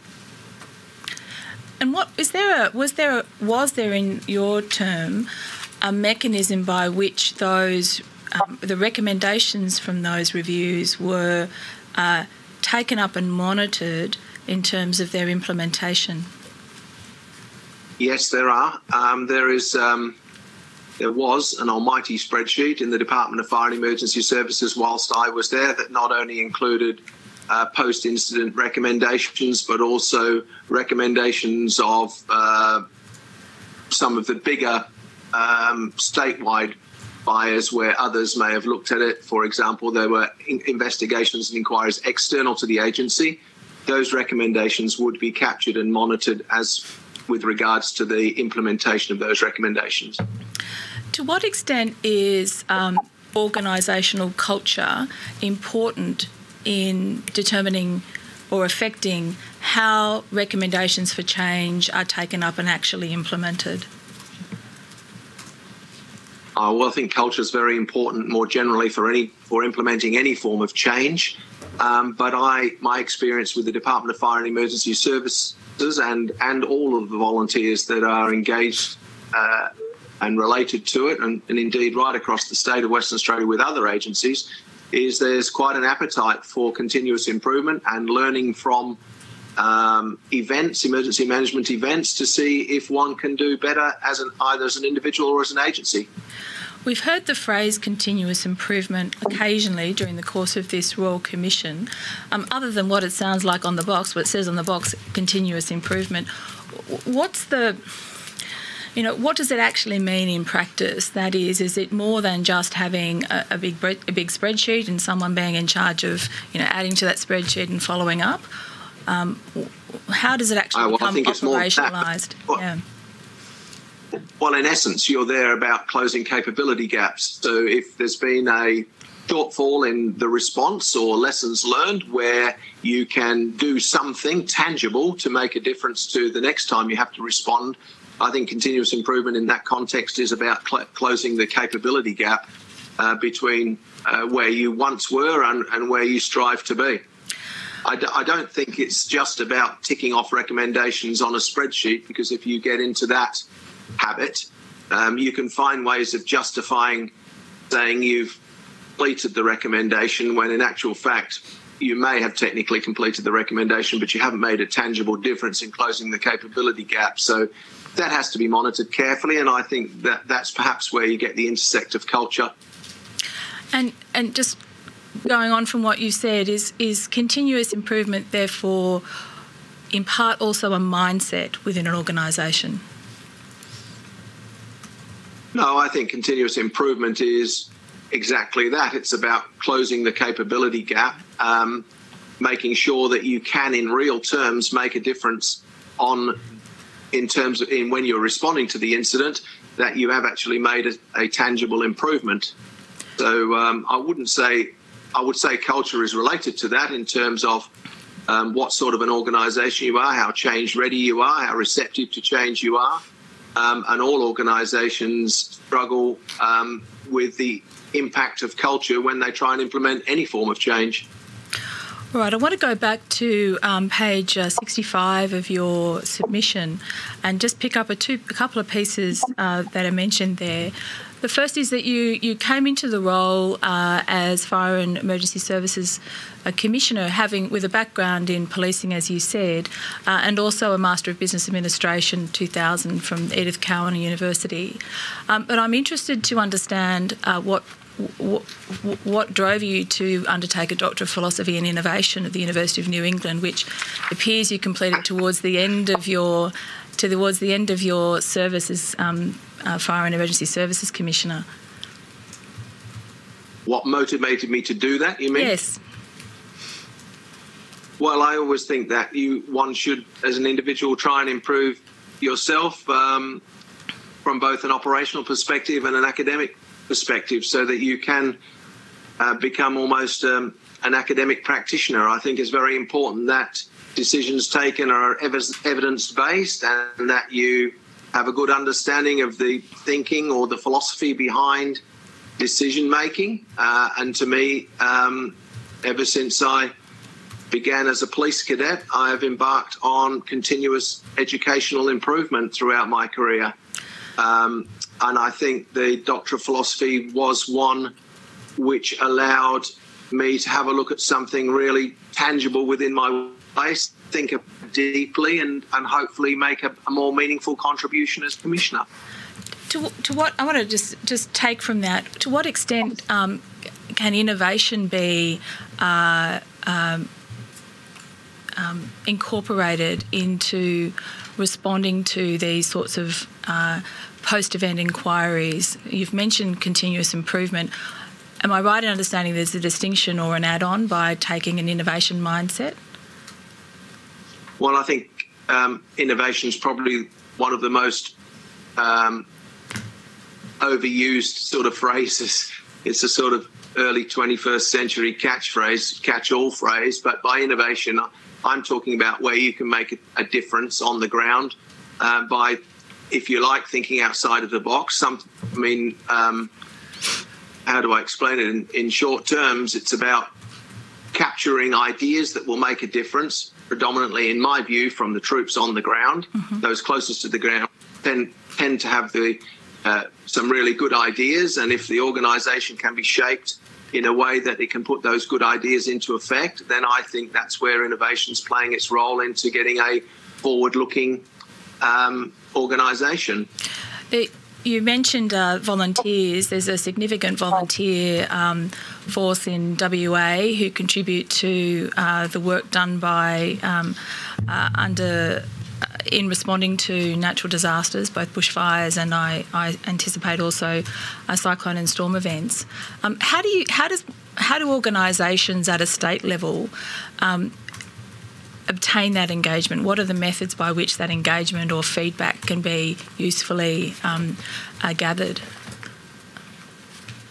Well, I think there's a whole variety of uh, stakeholder engagement tools that you, one can use as an organisation. And in fact, we did use at the Department of Fire and Emergency Services to um, interact, gather ideas. There are you build in feedback mechanisms through having volunteer meetings with associations. You can have uh, portals for ideas to be submitted from the troops on the ground. When I was commissioner, I regularly visited, and I, am talking on a weekly basis, either a career fire station or a volunteer brigade group or unit to have that exchange with them on ideas. Um, I think there are a whole variety of stakeholder engagement tools, uh, and if you are open as an organisation and people think that their ideas can actually be be translated into on the board, and you build that culture of engagement and willingness to participate in again that catchphrase continuous improvement or the betterment of an organisation both um, culturally and operationally. On page uh, 66 of your submission you you mention what i think you've just uh, foreshadowed under innovation um, a strategy of incorporating online stakeholder engagement through a portal to progress. Is that what you were talking about? That volunteers can actually directly provide recommendations uh, to to the agencies through that process? Yes, that was um, an, an idea that um, I was very passionate about, and indeed was the subject matter of my doctoral studies. And that was that you have a way of uh, engaging um, in almost an egalitarian way with the entire workforce. Um, my view is, and I've often stated it, is rank doesn't give you a monopoly on good ideas.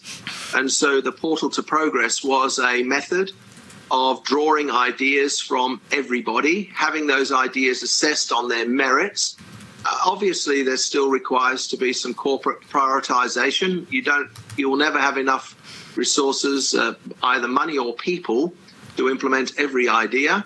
But it is it was one way, which I thought was a really good, appropriate way to get ideas from the troops on the ground. So. Um, you also mentioned a number of other items which the commissioners can see uh, concerning in which you introduced uh, other changes during the period of your term. In fact, um, you mentioned at the early in the earlier page that you were appointed with a clear mandate for cultural and structural reform. Um, the organisation yes. had reputational damage, cultural issues, and was exposed to major operational, corporate, and strategic risk. Um, it, Yes. When when faced with those kinds of problems in an organisation and um, given a clear mandate to bring cultural and structural reform, um, uh, to what extent do you, does that require um, working across agencies, even outside the agencies that you're, um, which comes within your direct responsibility? Oh, I think it's a very important part of any form of um, operational, uh, a government organisation, particularly one that engages 20,000 or more volunteers, has to have uh, intrinsic links into community and intrinsic links into other organisations that form part of the bigger picture. Um, so, relationships with other hazard management agencies, for example, police, communities, uh, various charities, they're, they're, fundamental in building the overarching capability of the state of Western Australia and even broader, quite frankly.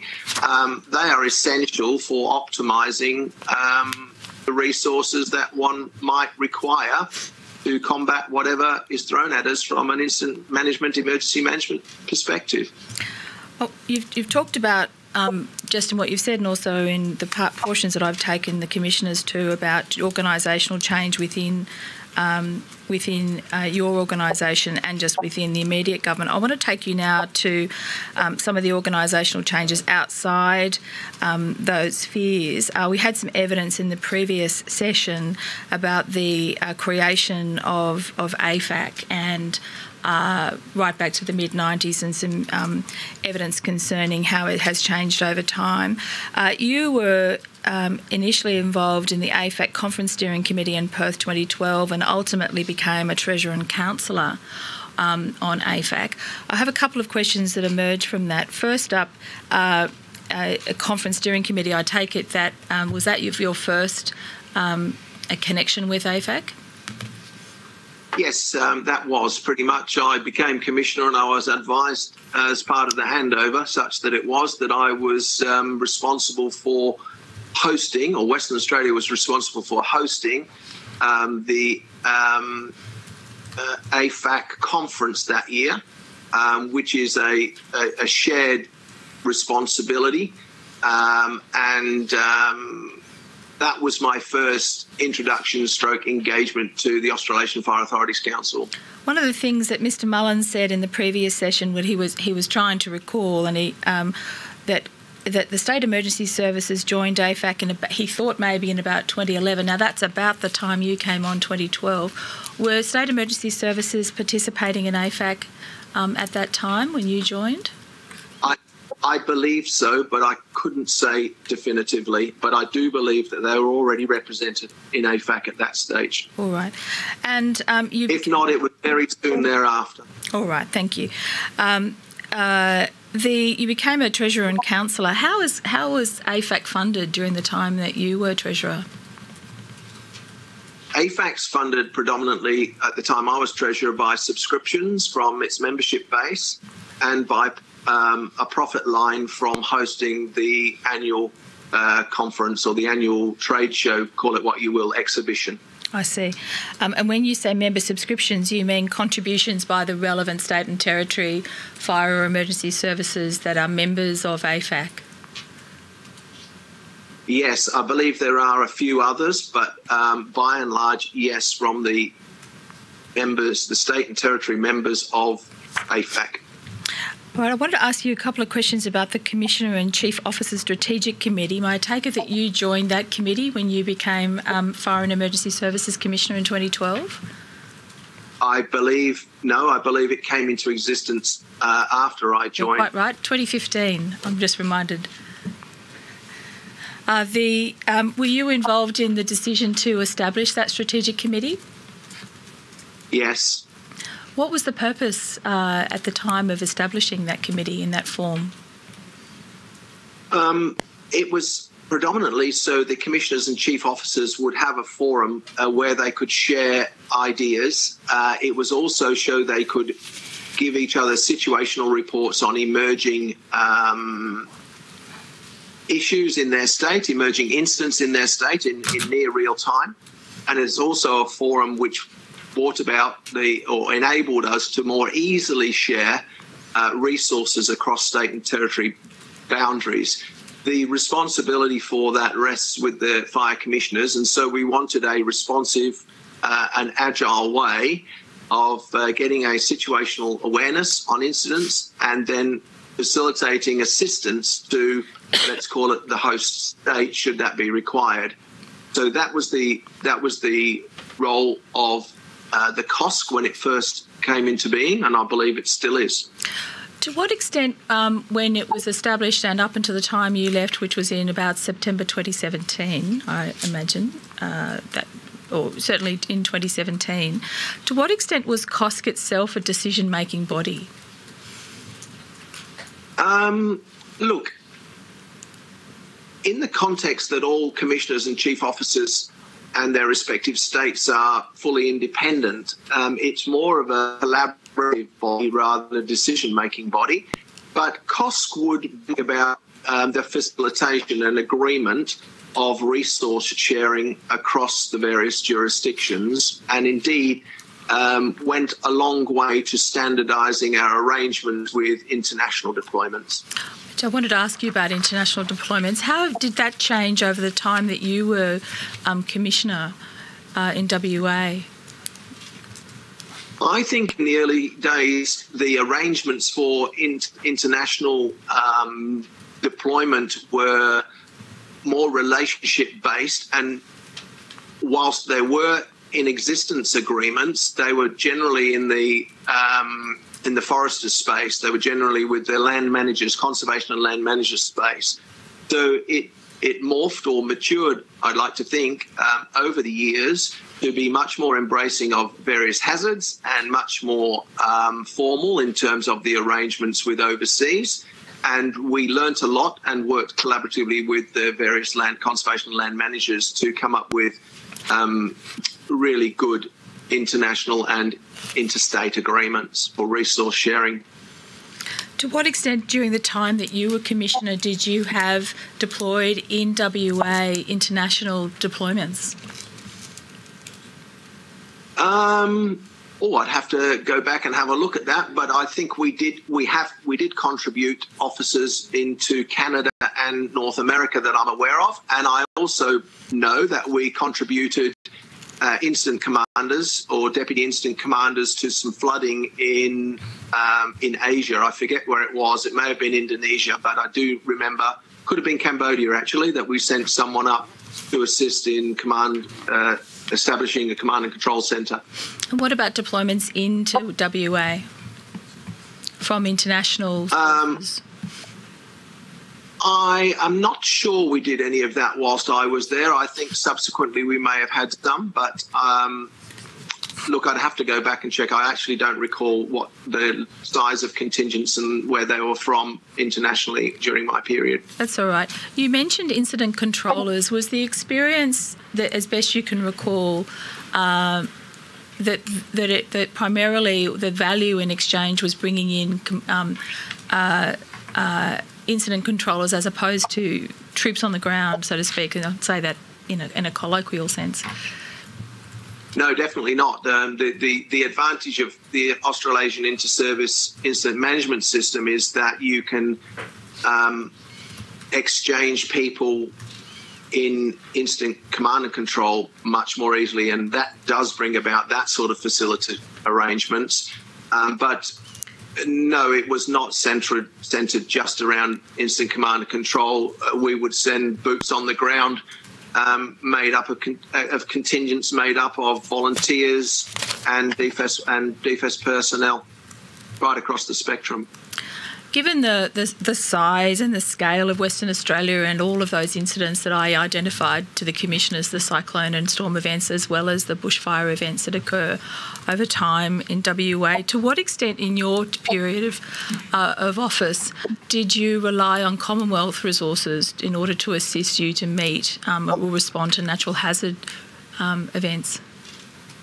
I think we rely on the Pilbara Regiment uh, on a low level DFAC request to provide assistance oftentimes during flooding, mm-hmm. and that's most often done by local arrangements. So um, I don't recall having uh, to make requests of the Commonwealth mm-hmm. for defence force aid to the civil power um, on events that we ran in Western Australia, not not to my recollection. All right, thank you. Um, I mean, they're not based here, you see, so it would be quite some argument to tempt them across to Western Australia, whereas in Queensland they're they're read, much more readily available and more often used. Right. Um, the last matter I wanted to raise with you was your current role. As I understand, um, since you've retired from the role of Foreign Service Commissioner, you've been brought back in as an incident controller for COVID 19 for the Department of Education.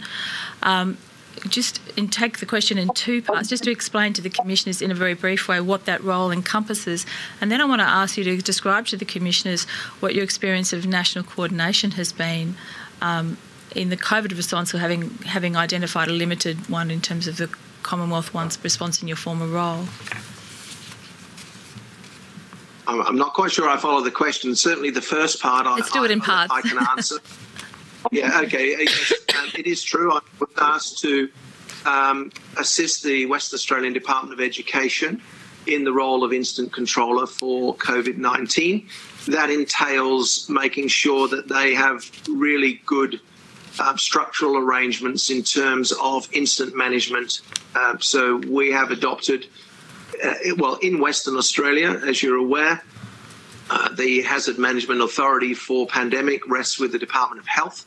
Um, but it's expected by the State Emergency Coordinator, that's the Police Commissioner, that all agencies who have any role, including education, or um, have a have good uh, structures, processes, and systems in place to enable them to do what they're required during the pandemic with respect to their own departments and also if required, to assist and liaise and coordinate with the Hazard Management Authority.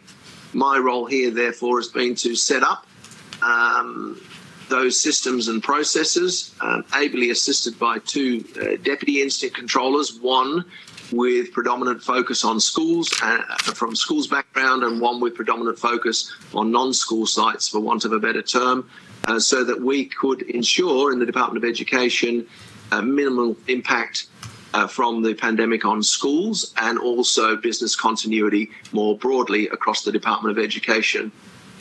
I, um, does that help? It does, thank you. And it helped to remind me that I'd missed a question that I wanted to raise with you. So I'm going to double back, talking about the importance of incident controllers uh, and uh, um, uh, and the, the, importance of that in terms of working across agencies.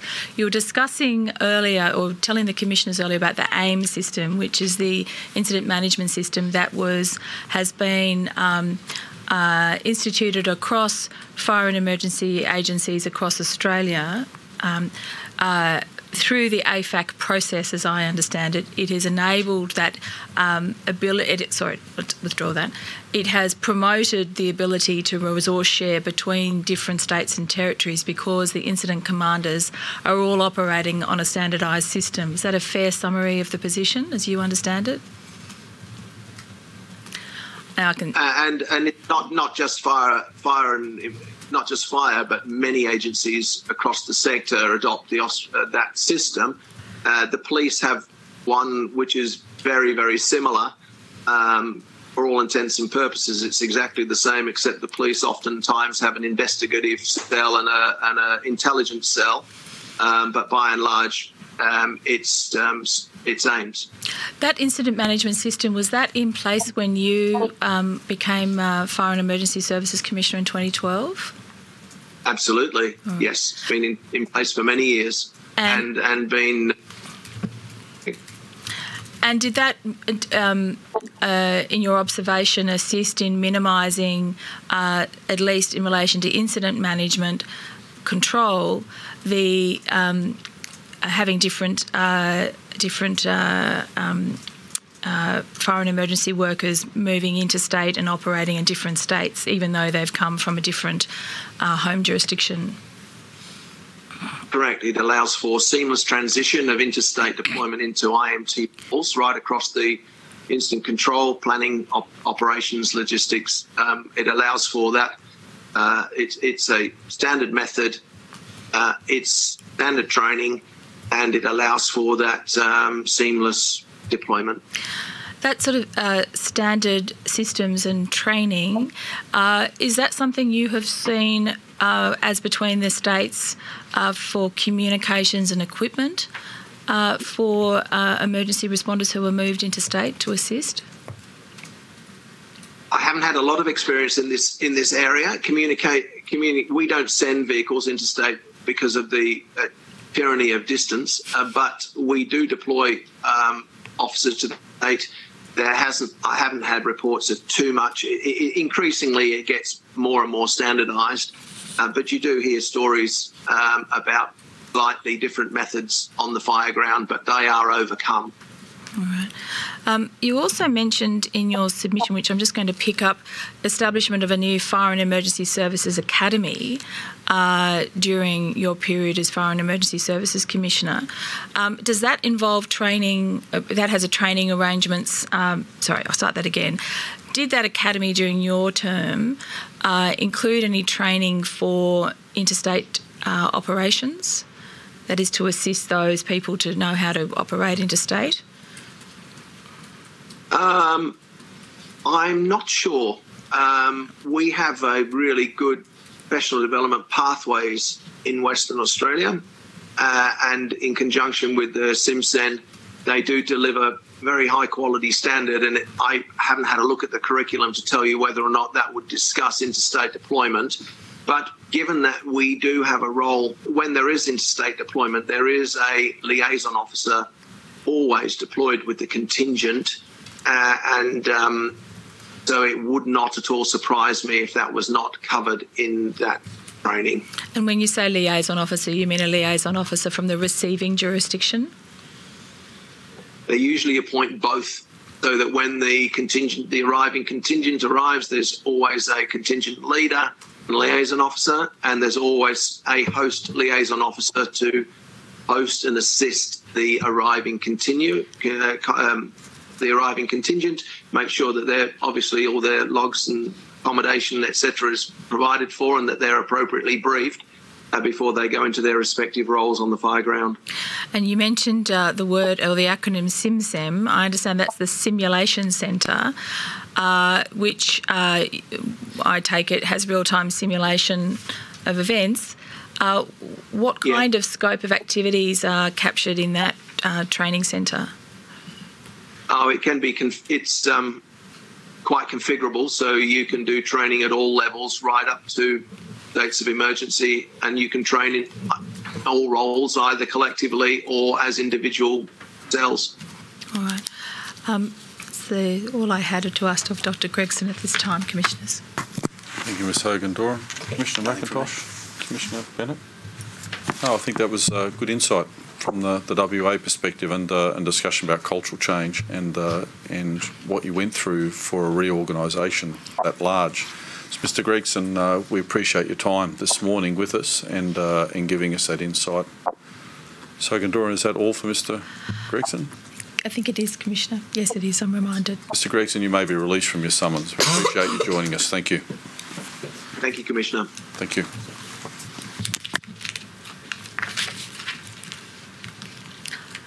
Think it's going back going back to Mr. Glover now.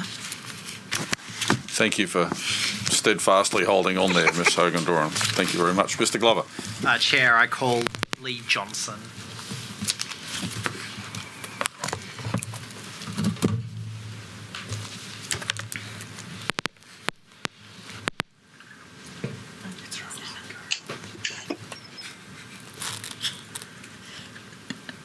Uh, Mr. Johnson. Good morning. Thank you for joining us. Thank you, Commissioner. It's a privilege to be here. Uh, Mr. Johnson will take the affirmation. Mr. Johnson, do you solemnly and sincerely declare and affirm that the evidence you shall give will be the truth, the whole truth, and nothing but the truth? I do. Thank you. Uh, Mr. Johnson, you were the Commissioner of Queensland Fire and Emergency Services, or QFES, from 2002 to 2015, is that right? That is correct, yes. And you have served as an operational firefighter for 39 years with QFES. Yes, I started my career in 1975 in Townsville in North Queensland and served at a number of locations across the state. during your tenure as commissioner, what did the role entail? Uh, the role entailed, I guess in those days we were called, we'd moved from the Queensland Fire and Rescue Authority to the Queensland Fire and Rescue Service to the Queensland Fire and Emergency Services. So a number of iterations. But basically, it was to protect life, property, and the environment uh, with the powers and abilities of the service being applied. So, really, uh, it was an urban fire service principally, um, but also hazardous materials, chemical, biological, radiological, and, and nuclear assets and, and equipment, urban search and rescue, road accident rescue, and quite a number of rescue disciplines, including uh, rescue from heights. So, an all round, the major focus at that time was on the urban fire service, and the rural fire service uh, was evolving because fundamentally from 1990, the rural fire service in Queensland became part of the Fire and Rescue Service under the Fire and Rescue Service Act. And then I'd like to describe it as a journey of maturity over my career that we evolved from a fire brigade to a fire and rescue service to a fire and emergency service. And did that emergency services, or sorry, I'll start that again. Did that evolution to emergency services then incorporate other natural disasters other than fires? Yes, we, we played an increasing role in the broader emergency management world. So if you describe fire and rescue services part as part of emergency services and the broader emergency management world, which is whole of government, local government, communities, all the departments of government, private industry, the like. And uh, particularly after we developed the urban search and rescue capability, um, it taught us a lot about logistics, operating in the field independently, and fundamentally keeping people at the front line for 24 hours a day, seven days a week as needed. So we gradually evolved into a much greater participative role in the broader emergency management world. Uh, thank you. So, what role did your organisation have in relation to natural disasters such as tropical cyclones and floods?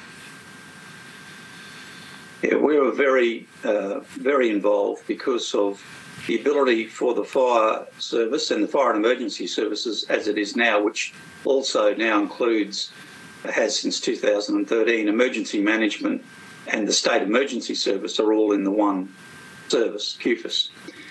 But uh, with our ability to rapidly deploy our USAR teams, who were tasked with things like uh, rapid damage assessment, particularly for cyclone activity and also with flooding, we're able to deploy large numbers of people with the logistic support housing, feeding, communications into remote areas and stay there um, for for the necessary time. So, yes, we're heavily involved in a lot of floods, a lot of cyclones, and increasingly bushfires. Thank you, uh, Mr. Johnson. I think, as you are aware, this Royal Commission is looking at national coordination arrangements for natural disasters. So I'd like to ask you some questions about the Australasian Fire and Emergency Service Authorities Council, or AFAC as it is known. Um, if you were listening to the evidence of Mr. Mullins before, I think the questions will be along similar lines and that is because you served as president of AFAC from 2009 to 2013. Is that right? That is correct, and I was the deputy president prior to that. Thank you. Um, I would like you to answer based on your experience of AFAC. So please put your experience of Queensland's arrangements to one side and consider the national perspective. Um, can you please describe how, during the time period of your association with AFAC, its role developed and changed? Yes, AFAC uh, is the peak council for all the emergency services in Australasia. And over time, uh, its relationship was fundamentally to the federal government or the Australian government through EMA. Also, um, the other committees like ANZEMC, Australian National New Zealand Emergency Management Committee, AFAC wasn't part of that. But all, at all times, I think the journey that AFAC's undergone is seeking greater connectivity and connection with, with the Australian government, and invariably that's that's happened. And one example of that is uh, fundamentally the Australian government through EMA has subcontracted out a lot of the role that EMA used to do in terms of previous counter disaster college in Mount Macedon and other arrangements. So with with a business unit of AFAC called ADA, a lot of the work is now fundamentally subcontracted uh, by the government. So I think what's missing is the recognition of emergency services, and I differentiate between emergency management and emergency services, needs to be much greater.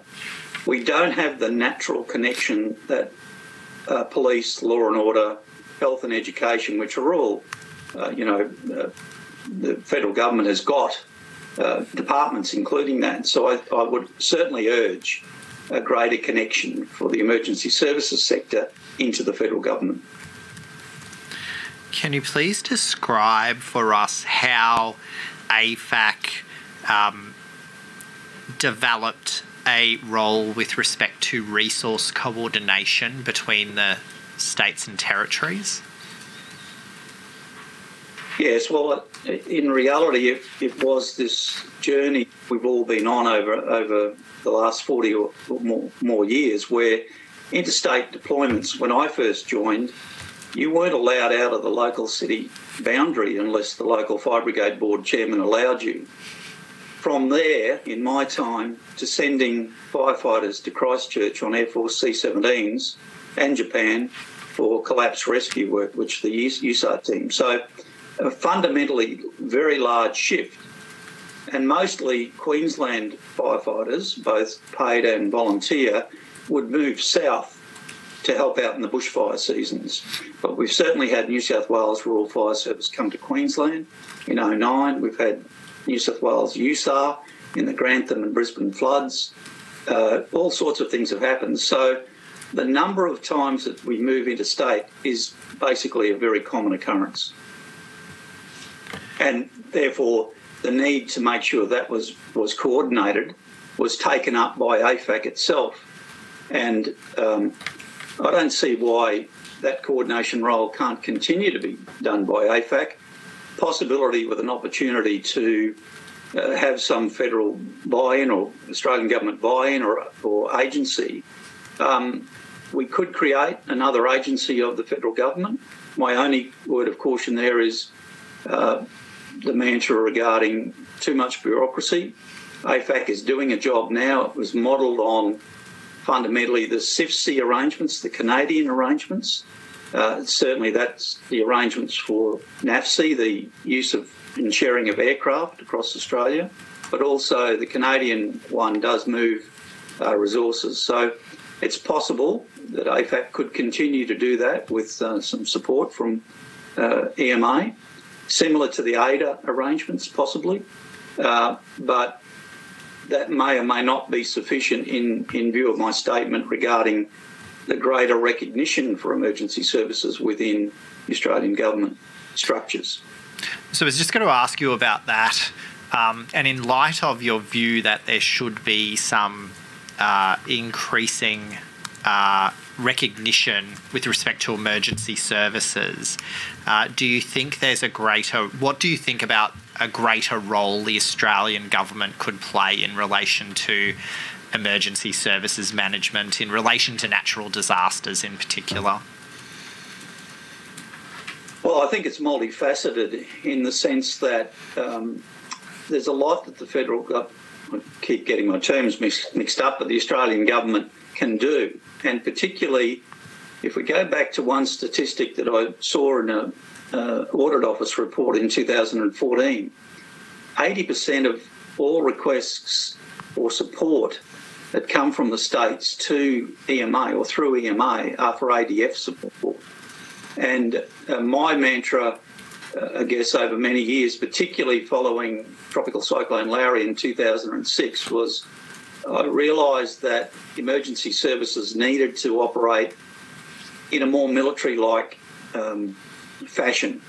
And, and what I mean by that, and this is where the federal government can support with experts, and, and probably what's missing is some kind of national command college that teaches a lot about the staff officer roles and planning and logistics, intelligence, and the strategy of dealing with very large scale battles, if you like.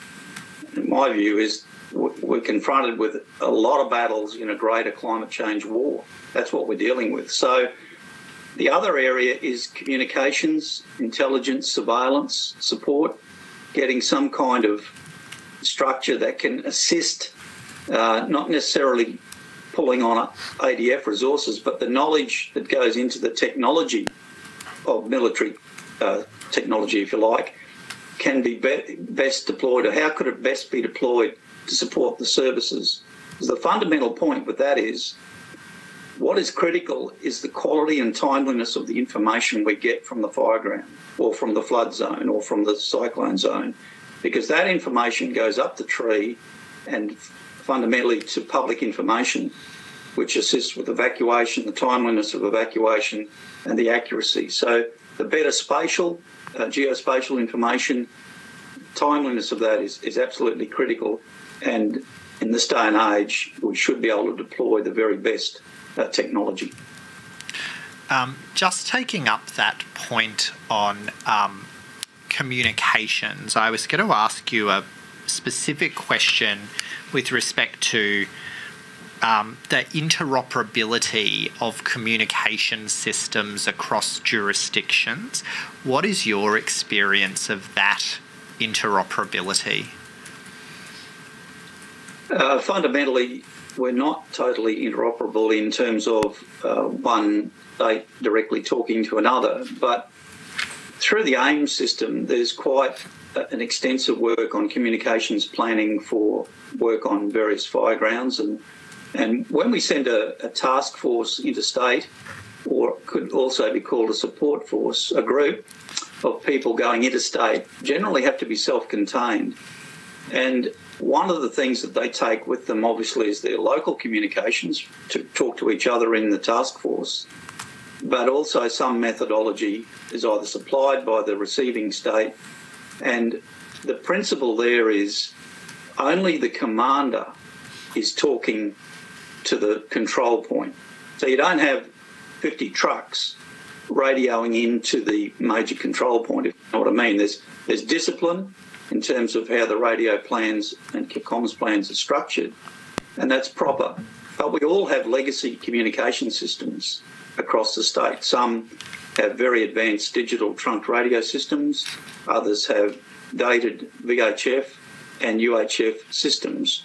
And there's also an issue with spectrum management that ACMA, the Australian Communications and Media Authority, really needs to get involved in and assist in that space. Um, I was certainly on the committee for the public safety mobile broadband idea that came out of the digital divide uh, issues over a number of years ago, but I'm not sure that that's progressed too far after quite a number of years. So there are workarounds within the AIIMS command and control structure for interstate people to operate in another jurisdiction. And so, just picking up on your answer then with respect to AIIMS, so that's the Australasian Inter Service Incident Management System. Um, can you just describe to us, in your experience, how that system works and what its benefits are? Yes, certainly. I, uh, I chaired the fourth edition review of AIIMS, uh, which was published in 2013. And it works on a number of principles, and they are functional management, management by objectives, span of control are the main ones, but unity of command and also flexibility. So it's a system of breaking down, particularly the span of control issue is, is very important. But it allocates what, in a military sense, uh, people understand as staff jobs like planning, uh, logistics, uh, intelligence, and a range of support functions. And in fact, it was brought into Australia following the Ash Wednesday bushfires from North America, uh, the NIMS system that operates there. Uh, ours is similar, not exactly the same, but very similar. And it all came out of fundamentally uh, NATO or the American military concept. So that it's very much a military uh, concept and is widely used by all fire and emergency services across Australia. The police uh, don't use AIIMS, they use a very similar system um, based on the same sorts of principles. And it, it uh, I think, can, it, there's a new edition out 2017, but it could do with that concept of the National Command College, something like that we all send our officers to the Australian Institute of Police Management for leadership and management training to get qualifications in that area along with the police. But there is no national approach to that teaching the strategy of leading and managing large scale um, uh, operations. So that would be an area that could also benefit. But AIIMS is well recognised and it's the single tool that enables us to go across border and to go to North America. Because once the teams that are requested, and much of the support that's requested by interstate services is actually for incident management team members, not necessarily direct line firefighters. That happens too. But many of the requests are to send by behaviour specialists, um, planners, all that sort of back end work because the key to all this, in my view, is what we're doing is you take New South Wales this season, probably on one given day, they had 120 battles going on. Each of those managed by an incident management team and controlled by that incident management team. And uh, the, a lot of the authority is actually delegated to the front line. Not all of it, but a lot of it is. So you've got a lot of troops in contact, a lot of fleet, a lot of vehicles all manoeuvring around a very large number of fire grounds. This is very complex, and uh, we can get better at it. Um, I'd just like to ask you um, about um, your experience in relation to uh, assistance provided by the ADF. Uh, you'd mentioned that a couple of times uh, earlier in your evidence. Um, I know that you were involved in the response to the 2010 2011 floods in Queensland. Um, so far, the Royal Commission has heard quite a lot about ADF assistance in relation to bushfires. Can you please just, um, for the assistance of the Commission, uh, tell us about your experience with the ADF in a flood context? Yes, certainly. Uh, the ADF in the 10 11 uh, floods in Queensland, when basically, excuse me, 80% of the state was flooded and many areas were flooded three times. Uh, country towns or regional towns like Emerald flooded three times. That year, obviously, Queensland is extremely well practiced um, with with the use of ADF support because we're probably the most disaster-prone state in the in the nation. But fundamentally, the ADF came in with a massive array of support from virtually every aircraft type the Air Force had, including C-17s, C-130s, um, aviation from the Army, the different types of helicopters, all the ground transport and engineering support.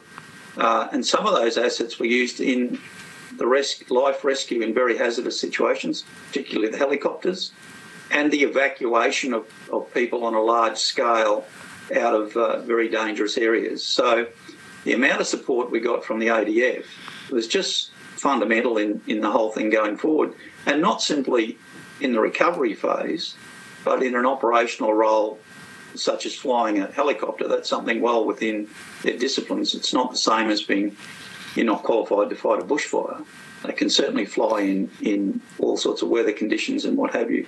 But the ADF uh, support, and the other thing I want to say about that is in terms of the support given by the ADF, the community has an expectation that the green machine broadly is going to turn up, and it gives a morale lift to communities when they see uh, our defence forces assisting, and that that's something that's part of, I suppose, the Australian nature and way. But the ADF in flooding were able to supply us with all sorts of equipment um, and support. Uh, why is that so? Why did we need it? Because fundamentally, the state agencies don't have the backbone that would be called combat service support. So the logistics, the engineering, um, comms, you name it, even field hospitals. State agencies don't have that backbone. They don't have the depth of backbone. So that's a, a key reason why it's it's offered. Just one com- further comment on that. Um, there's possibly an opportunity for the, government to look at incentivisation industry in terms of our aviation industry, bushfire aviation, firefighting aviation, logistics, and other kinds of supports that that private enterprise can pick up the pace a bit, if you like, um, rather than you know place huge demand on the ADF, which is they'll come if we ask, of course. But there may be a way where there's enhancement programs or incentivisation for uh, particularly our aviation industry, for example, to increase its capacity um, and and logistics, uh, feeding people, housing people in the field, all that sort of back end stuff is absolutely vital, and it's one of the main drivers that I had in terms of building capability within QFES. Uh, thank you for that very comprehensive area. I'm about to move on to my final topic, which is quite discreet. It concerns the Bushfire and Natural Hazards Cooperative Research Centre. Uh, just before I do that, I might pause and check. I'm being told there are no questions from commissioners at this stage, so I will carry on. Uh, so, I understand you have been on the board of the Bushfire and Natural Hazards Cooperative Research Centre uh, since 2013, is that right? That is correct, yes. And so, looking at the composition of the board, uh, and agree with me or disagree with me when I say this proposition, you seem to be the only uh, emergency services person or a person with operational experience on the board. Is that right? Uh, yes, uh, I, I am. And uh, there's been some uh, requests for other uh, members to join the board. Because the important thing is that the funding runs out for the CRC in June next year. And we're currently uh, in negotiations with the government to look at the future of national independent strategic research. But that's the key role that I play on the board uh, in terms of uh, that operational background. Uh, thank you. So I guess now this next question is uh, your chance to um, plug the case for further funding because what has been most useful about the work of the centre when it comes to emergency services? Well, a lot of the research uh, has been centred on uh, basically trying to assist people develop better policy, better procedures, and better understanding with what's gone on. The research is across a, a basis of bar, both physical or hard sciences, if you like, uh, as well as the social sciences and uh, the areas of how people react and, and, and understand what's going on around them in terms of for example, the evacuation situation, communication, but also uh, we saw the outcome of much of the work over two CRCs now when we had the use of the predictive fire services tool uh, surrounding the township of Gracemere. People might remember in 2018, the tool predicted that that township near Rockhampton would be under direct threat and enable the, the safe evacuation. So the, research that's done is independent. It's highly uh, authorised and, and appropriate, and that's what some of the experts on the on the board are there for to make sure that the research uh, that we do is is of high quality, and I think the work it's done in its life has certainly helped save lives and helped uh, better operations. And it, it needs to continue into the future. There's no doubt about that, and it needs to be national strategic level research. Uh, thank you, Mr. Johnson. Uh, Commissioners, I didn't have anything further for Mr. Johnson. I th- I think that uh, that final bit was very important to get an understanding of what the CRC is doing and uh, and delivering, and a good chance for a pitch. So we appreciate uh, Mr. Johnson and giving that. Commissioner Macintosh, any questions? Commissioner Bennett. No. Mr. Johnson, thank you very much for joining us this morning and uh, and your insight from your perspective from uh, Queensland, but also that CRC uh, bit at the end, and then also the integration of the uh, the ADF uh, up up north. So we appreciate all of that. Do we have anything else from Mr. Johnson? Uh, I'll just check to make sure none of the parties with leave to appear have anything to. No. I'm being told there's no contact, so may Mr. Johnson be released from his summons. He may be released from his summons. Once again, Mr. Johnson, thank you very much. May I say one thing, Commissioner? Yes. Um, I'd like to commend I'd like to commend yourself and fellow commissioners and the team on the manner and nature, the way you've treated people with dignity and respect during this, and it's to be commended. And I think it's an exemplar for the future of this type of commission because the adversarial approach, certainly I've seen over many years, has damaged a lot of people, particularly our volunteers. And I think what you've done and your team uh, is is fantastic work. So thank you very much. I appreciate. Thank you very much for that comment. Thank you. We can adjourn Thank you. for lunch. So, Mr. Glover, let's take an adjournment then until 14:15 Canberra time. Thank you. All rise.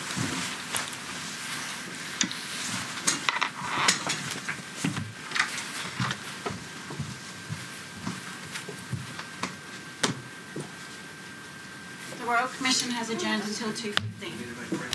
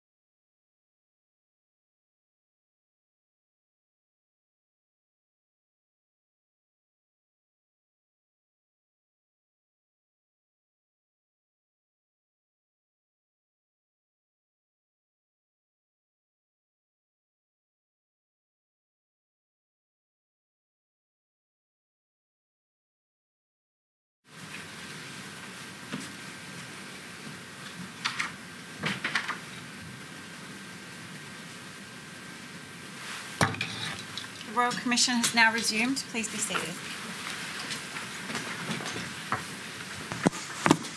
Ms Spees. Uh, Thank you, Commissioners, and uh, with apologies for the delay, there was a slight technical difficulty which hopefully has now been fully resolved. The, this afternoon we have two panels of witnesses. Uh, the first panel will be um, Mr Gary Morgan and Mr Ewan Waller, both of whom are former Chief Fire Officers of the Department of Sustainability and Environment Victoria. Mr Gary Morgan is also currently the Chairman of the Forest Fire Management Committee of the Institute of Foresters Australia.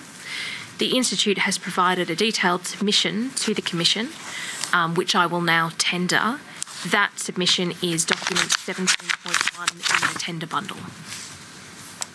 Okay, we'll take that as marked as an exhibit. Thank you. I call Gary Morgan and Ewan Waller. Mr Morgan, Mr Waller, good to see you on there. Thank you very much. Hello. Hello. Um, Mr Waller will be taking an oath. Mr. Waller, do you swear by Almighty God that the evidence you shall give will be the truth, the whole truth, and nothing but the truth? I do. Thank you. Mr Morgan will also be taking an oath. Mr. Morgan, do you swear by Almighty God that the evidence you shall give will be the truth, the whole truth, and nothing but the truth? I do. Thank you. Mr Waller, you were the Chief Fire Officer of the Victorian Department of Sustainability and Environment from 2005 to 2012, is that correct? That is correct. And uh, this period included the uh, 2009 Victorian bushfires. It did uh, Black Saturday. That's correct. And um, you've worked in fire management as a forester for around 40 years, is that right? That's correct. And um, you're now retired from your full time role. I have retired, but I consult in uh, forest fire, uh, forest management, and fire management, and uh, farm as well. Thank you. Uh, Mr. Morgan, uh, you were the Chief Fire Officer for the Department of Sustainability and Environment in Victoria prior to Mr. Waller from 1996 to 2005. Is that correct? That is correct. Um, and you were also uh, the CEO of the Bushfire Cooperative Research Centre from 2007 to 2014. Is that correct? That is also correct. And you are currently um, the chairman of the Forest Fire Management Committee of the Institute of Foresters Australia. I am. Thank you. Um, I'm going to ask the operator to bring up a diagram of emergency management um, agencies in Victoria. This document is RCN uh, dot 900.052.0026. Mr. Waller, um, can you see that diagram on your screen? I, I, I cannot, but I had a look at it uh, today, so I'm familiar with it.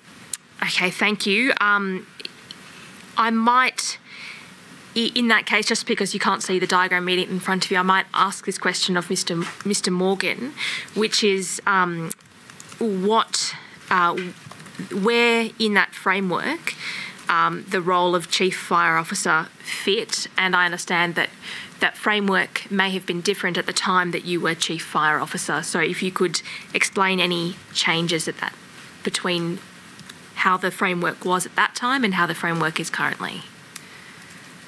Certainly, Counsel. Um, as Chief Fire Officer for the Land Management Agency, then that was 15 years ago, and um, the structure was totally different to what you've got there.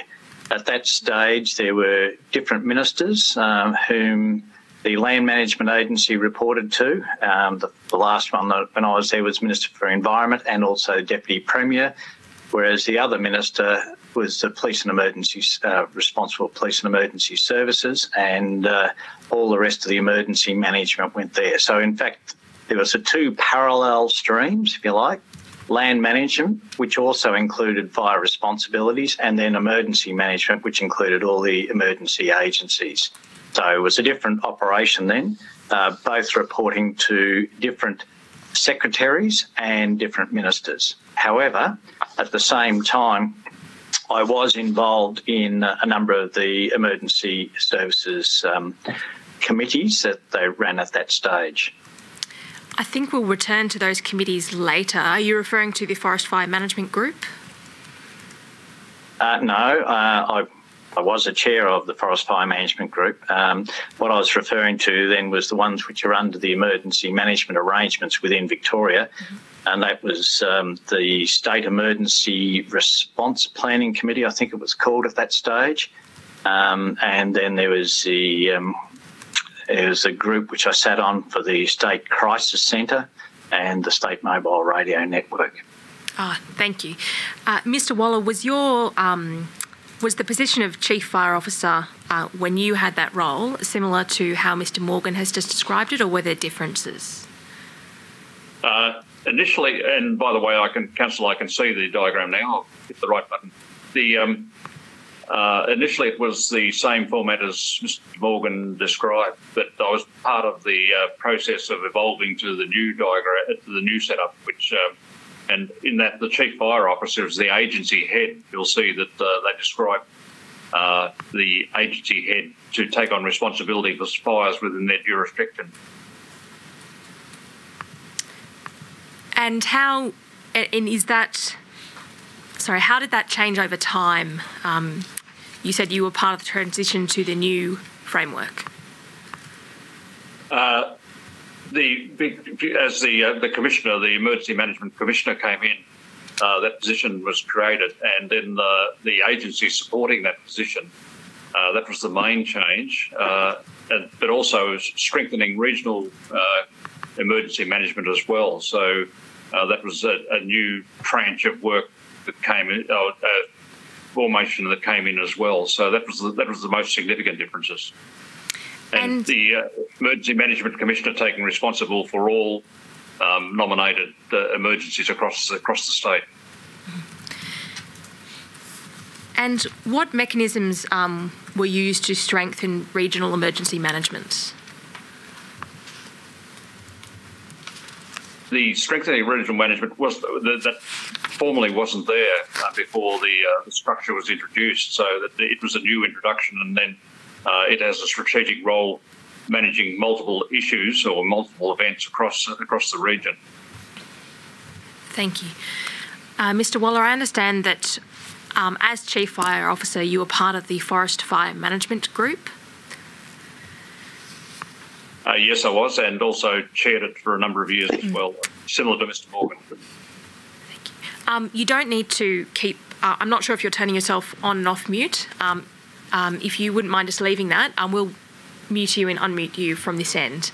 Um, in relation to the Forest Fire Management Group, what is the role of that group? Uh, it was to uh, it was uh, a group that was formed under the COAG arrangements uh, and reported into the particularly the agricultural side, but it was formed specifically for the land managers across Victoria, across the uh, Australia and New Zealand uh, to bring land management and forest fire management, particularly, to the uh, um, so it could feed into the the COAG process and uh, would then be uh, advising ministers and governments on the, the correct approach. And what sort of persons were part of that forest fire management group?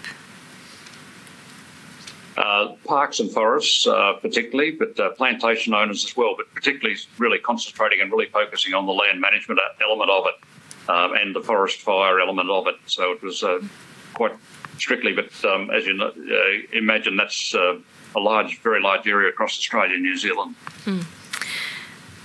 Uh, Mr. Morgan, um, I understand that you were also a chair of the Forest Fire Management Group.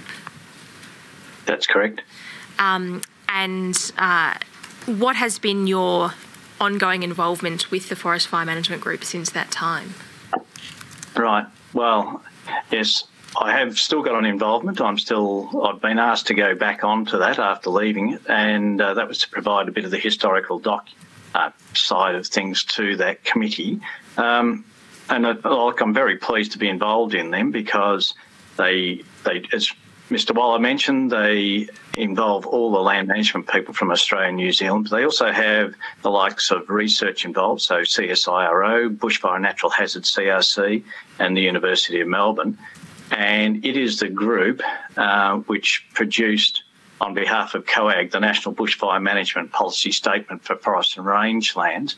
And it also has been involved in uh, the United, going through the Forest Fire Management Group, which reports to the Forests and Forest Products Committee, uh, and then through to um, the, the, ministerial committee, the standing committee for agriculture and, and water, and that then provides information further into the United Nations side, which goes through to the FAO's um, forest commissions, and there's six of them around the globe, and then they report in to the FAO uh, Committee of Forestry.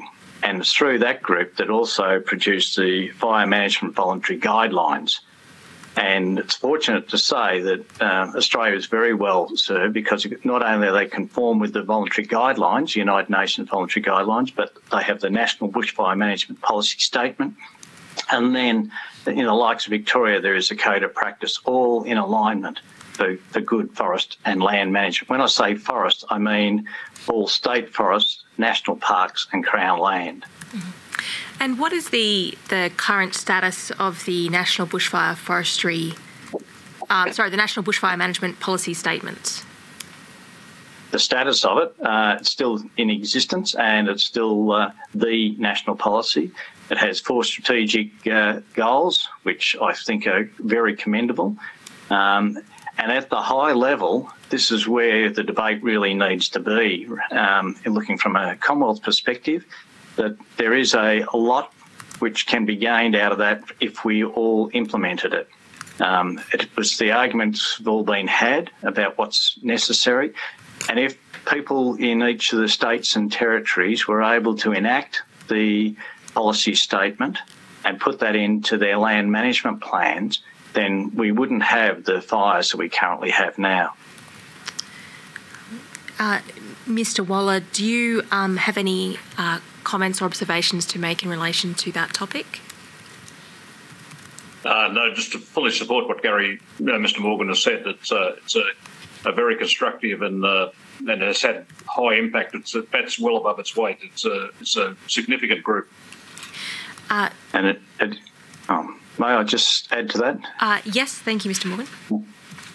Thanks, Counsel. It's just that uh, the Forest Fire Management Group does provide the forest expertise into the Commonwealth, and without that group, there there would not be an avenue for it to come into the Commonwealth to provide that advice and expertise. Uh, Mr. Waller, I would like to ask you about the Australasian Fire and Emergency Services Council, um, also known as AFAC. Um, what do you see um, as the respective roles of AFAC and the Forest Fire Management Group? Uh, they they both uh, have uh, similar functions, as in the you know that they're, they're two streams of uh, you know fire management. Uh, the AFAC group is largely you know quite a large council and uh, focuses particularly on um, very strongly on the on response side of fire fire management and uh, and community engagement and uh, that that side of it. Well, forest fire management is you know far more concentrated on land management, forest management, fire management uh, affecting forests, so that they're um, they're and they come together because you know the the, uh, the particularly forest fire management group are obviously members of the AFAC group as well. And are all members of the Forest Fire Management Group members of AFAC, and um, or is it only part of the Forest Fire Management Group? It's by selection, not necessarily, but uh, generally that's the way it works out because the senior leader of uh, you know in forest management across Australia, you know, in any particular state or territory, or New, uh, in New Zealand, is then logically slips across to become an AFAC director as well. So it, uh, it's a you know it's a a good joining together of the two organisations. Thank you. Uh, Mr. Morgan, I'll ask you the same question. Uh, what do you see as the respective roles of AFAC and the Forest Fire Management Group? Well, if I go back in time, um, AFAC was originally formed back in 1993, if I'm correct, and that had each of the fire services, both paid, volunteer, um, urban and rural, and land management agencies all in together. Um, and that included the people in parks, forests, and crown lands with fire responsibilities.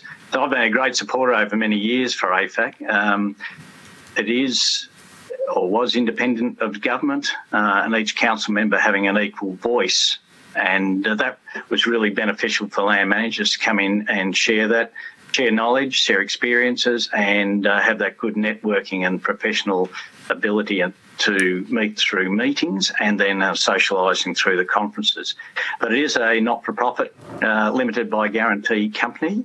Um, so that's both good and is restrictive. So that doesn't have any uh, uh, powers to enforce whatever comes through as a position, but it does help cement uh, what could be a national position and has been able to provide a lot of support to get programs up, such as the Bushfire Cooperative Research Centre. Um, and the National Aerial Firefighting Centre. So it can bring about significant changes.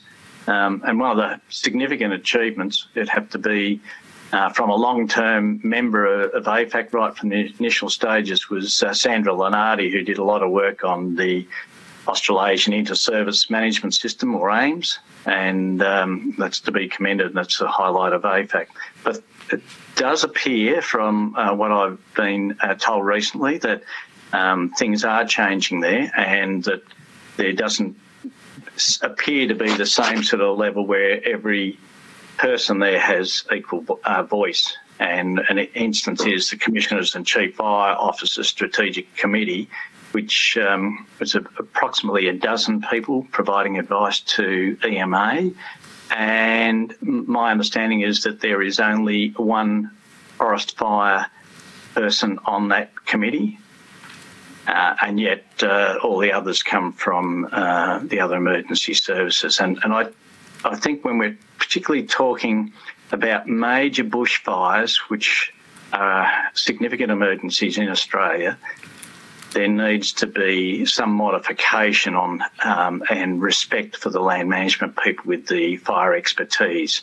And I think it's the same no matter what the situation is, what the emergency is that you need to have respect for the people, whether it's a, a, a built environment where you have an urban fire service, whether it be a, a, a land rural fire service coming in there from an agriculture side, or if it's in the forest, then it's the land management people. And that apparently is not having the same um, uh, way of operating as when it initially started, which I was very pleased to be involved in. I still think that it is a very good organisation, just needs some modification. That's probably about egos and people who have been appointed to roles as um, more in the, the managerial or for the non forestry skills side rather than um, uh, for what they should be there for. Mr. Morgan, are there you mentioned sharing of knowledge um, between the Forest Fire Management Group and AFAC. Um, what mechanisms are there um, for knowledge um, to be shared between those two groups, and in particular in relation to land management? Well, in, look, they, they have come together quite successfully. I mentioned about the support for the bushfire uh, CRC and then the bushfire natural hazards CRC. And so they do have a lot of interactions there. And uh, without joint support and joint funding, the land managers clearly do not have the funds available that the rural and urban fire agencies have. And, and that um, being able to be part of a bigger organisation and have a lot more support does bring a lot of advantages. So there's a lot of it's very important for land managers to be part of AFAC, but it does have a broader uh, remit. And so, therefore, that is why the land managers looking at forest fire management is more focused and is looking at uh, more the scientific side of things and about how to deliver it and the skills and expertise and the sharing of knowledge on managing the land so that we don't have situations where we have fires like we've just experienced. And that's that the slight difference, but they work collectively together. Thank you. Mr Waller, do you have any comments in relation to um, knowledge sharing, in particular in relation to um, knowledge sharing um, about from the Forest Fire Management Group um, with AFAC? Uh, as Mr Morgan said, the, um, the the, the fire strategy that was produced by um, the Forest Fire Management Group is an excellent document and should be the you know the, the ready reference for all fire management in uh, across Australia. And unfortunately, it's not. It hasn't been picked up by the uh, you know the knowledge is there, like it often does happen, but it hasn't been picked up and used, which is really unfortunate. And um, even though it was signed off and agreed, and this is the direction we will take, it hasn't been applied as it should be applied. And hence, as uh, again Mr. Morgan says, we the problems we had last summer are a direct result of you know, uh, poor land management or poor forest management up and down the eastern seaboard. And uh, so the knowledge sharing is uh, minimal in a lot of ways, as in that uh, you know, there is a clear division between the two. One, obviously, the AFAC side of it is um, is heavily based on response and aircraft and uh, um, uh, tankers and um, that type of work while the, the Forest Fire Management Group is very big on strong la- on land management, and uh, that involves burning, keeping tracks open, getting to fires quick, using aircraft quickly on uh, any outbreak. So it's there's a degree of knowledge sharing, but it's not strong, and uh, it's it's unfortunate. Again, as Mr. Morgan said, the um, the land managers are often the poor cousins of the agencies who fire agencies who have ready access to insurance money and other monies and even donations where uh, the land managers are government departments and uh, often not well supported by, by government, as in when competing, you know, competing for budget needs. So uh, it's um, there is a divide between the two, and that divide does does affect um, the knowledge flow between the two, you know, between the two functions. I'd like to turn now to um, other another aspect of sharing, which is the sharing of uh, resources for firefighting.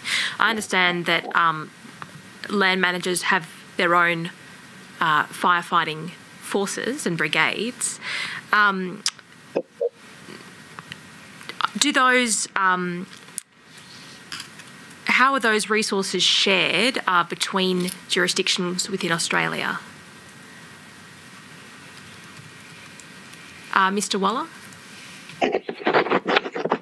Okay. Um, obviously, when you move move between states, obviously aircraft move readily between states. Uh, you know that uh, so request goes in, and uh, NAFC and uh, um, other organisations juggle around, and there's, there's this meeting of heads to make sure that does you know the resources do move around.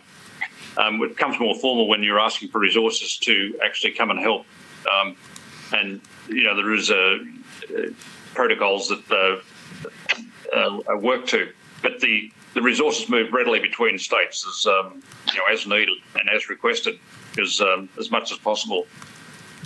Is that through um, the AFAC National Resource Sharing Centre, or are there bilateral agreements between um, between agencies?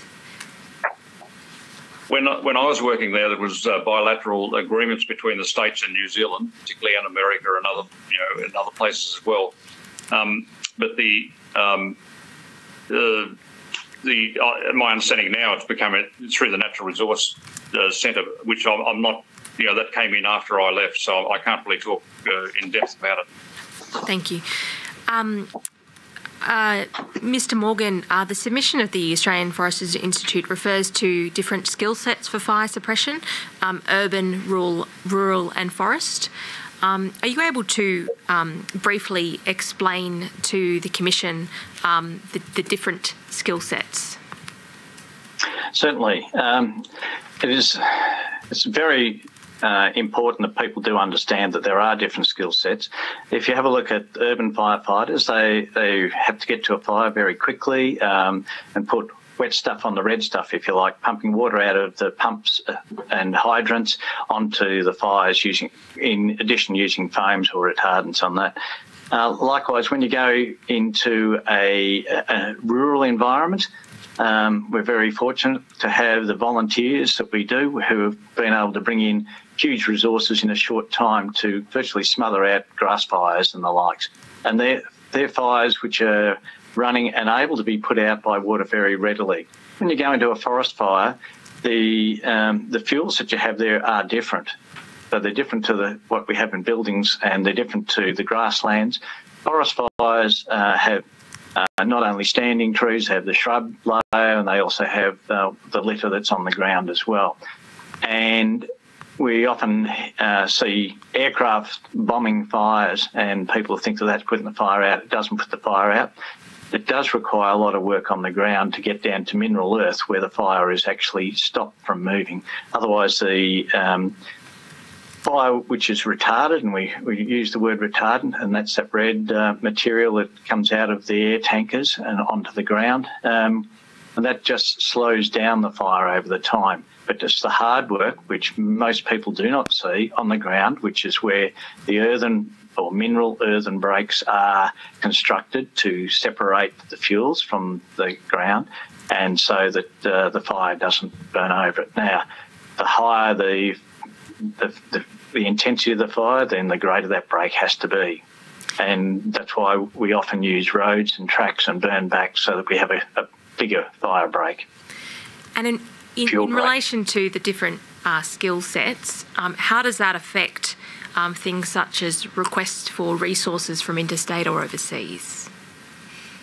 Okay, well, in the different skill sets, um, with the land managers, they're they're not just dealing with the the response phase to the firefighting.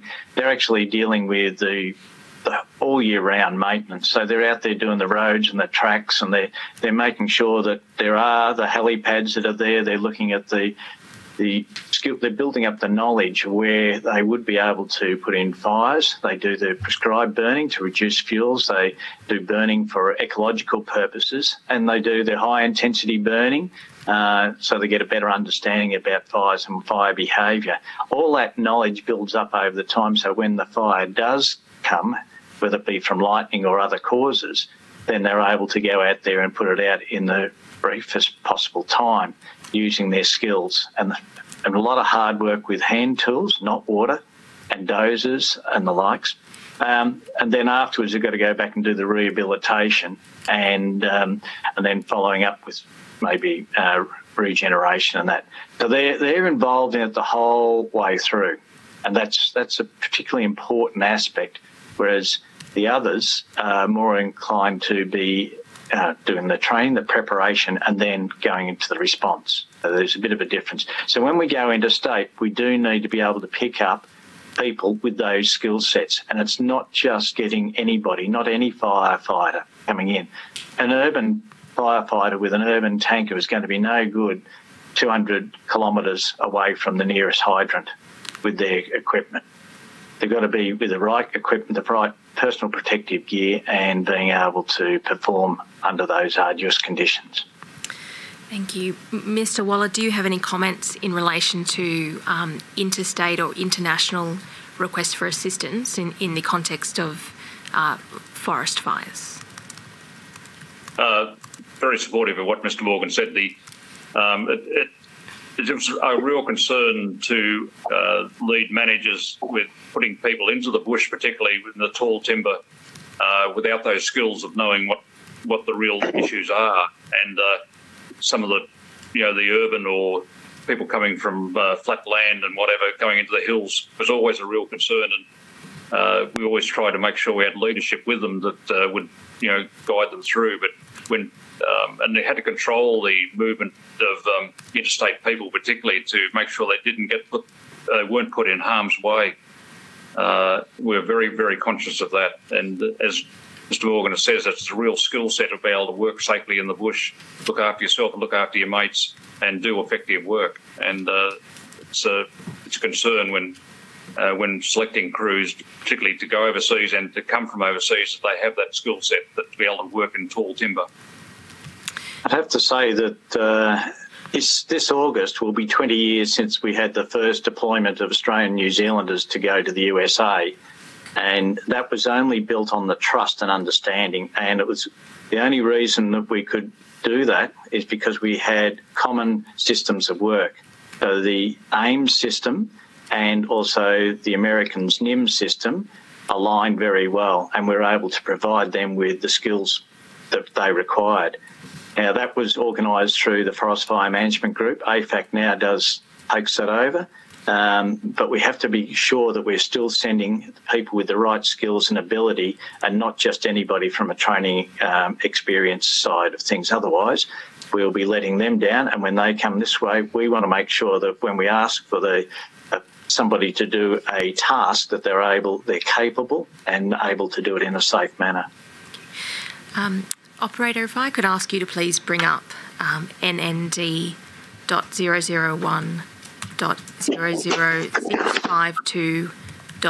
zero two underscore zero zero two five. And uh, the fourth paragraph there, I think. Um, sorry, no, not that paragraph. I might have the wrong reference.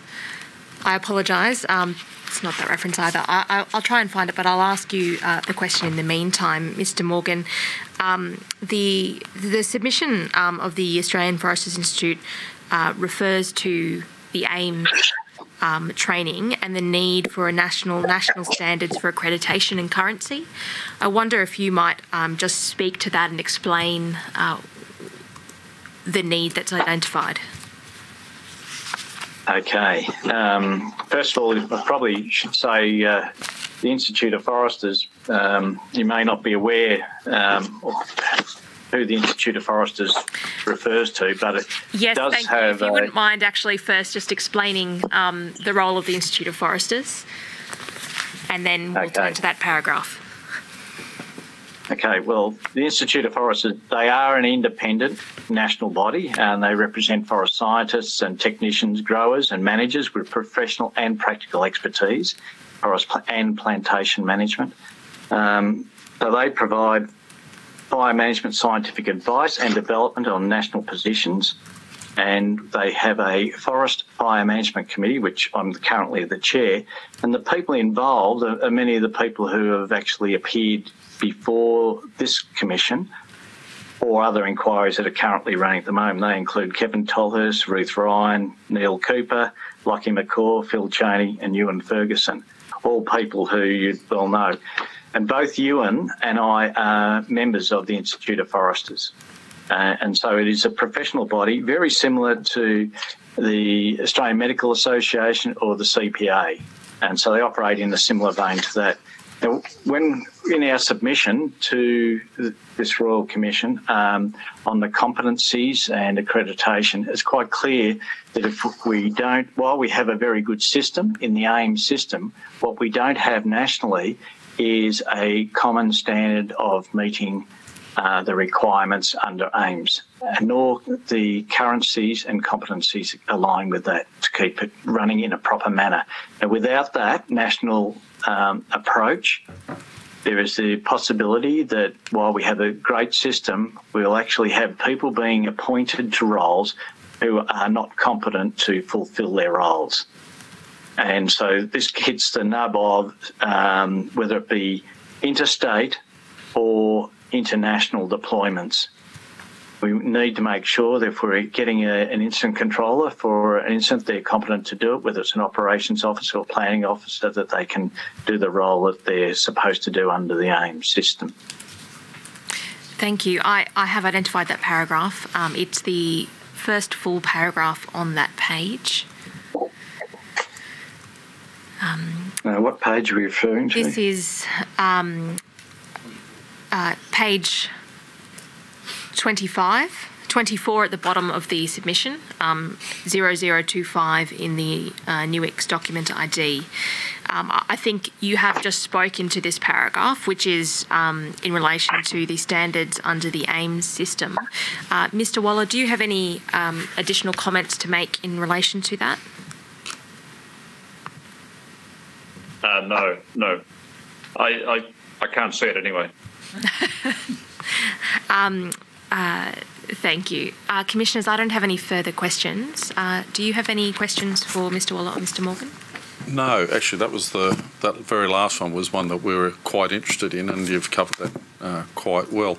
I note, looking behind Mr. Morgan, he's a man that wears many hats, but uh, I appreciate him uh, with his uh, evidence today. And uh, Mr. Waller, thank you, and thank you for the perseverance of uh, bringing bringing doing what you need to to uh, to, to come on. I think having both of you as a panel was uh, was very worthwhile. Commissioner Bennett, do you have any questions? Commissioner Macintosh? Nothing from me.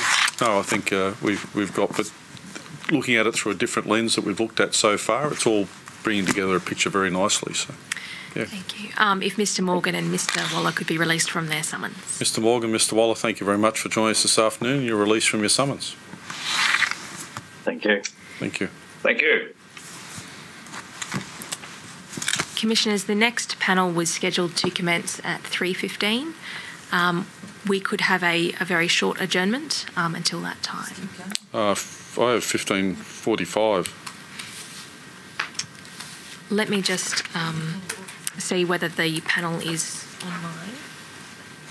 The, the panel is currently online, so we They're can currently online. Why don't we go straight into it? Great, thank if you. If we can do that.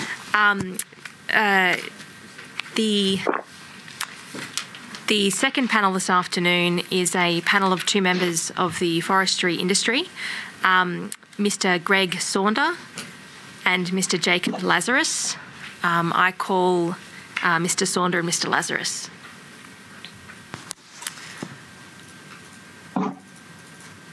Good afternoon. Can you hear us?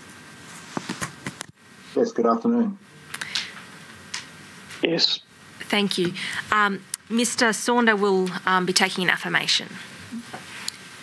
Mr. Saunder, do you solemnly and sincerely declare and affirm that the evidence you shall give will be the truth, the whole truth, and nothing but the truth? I do. Thank you. And Mr. Lazarus will also be taking an affirmation. Mr. Lazarus, do you solemnly and sincerely declare and affirm that the evidence you shall give will be the truth, the whole truth, and nothing but the truth? I do. Thank you.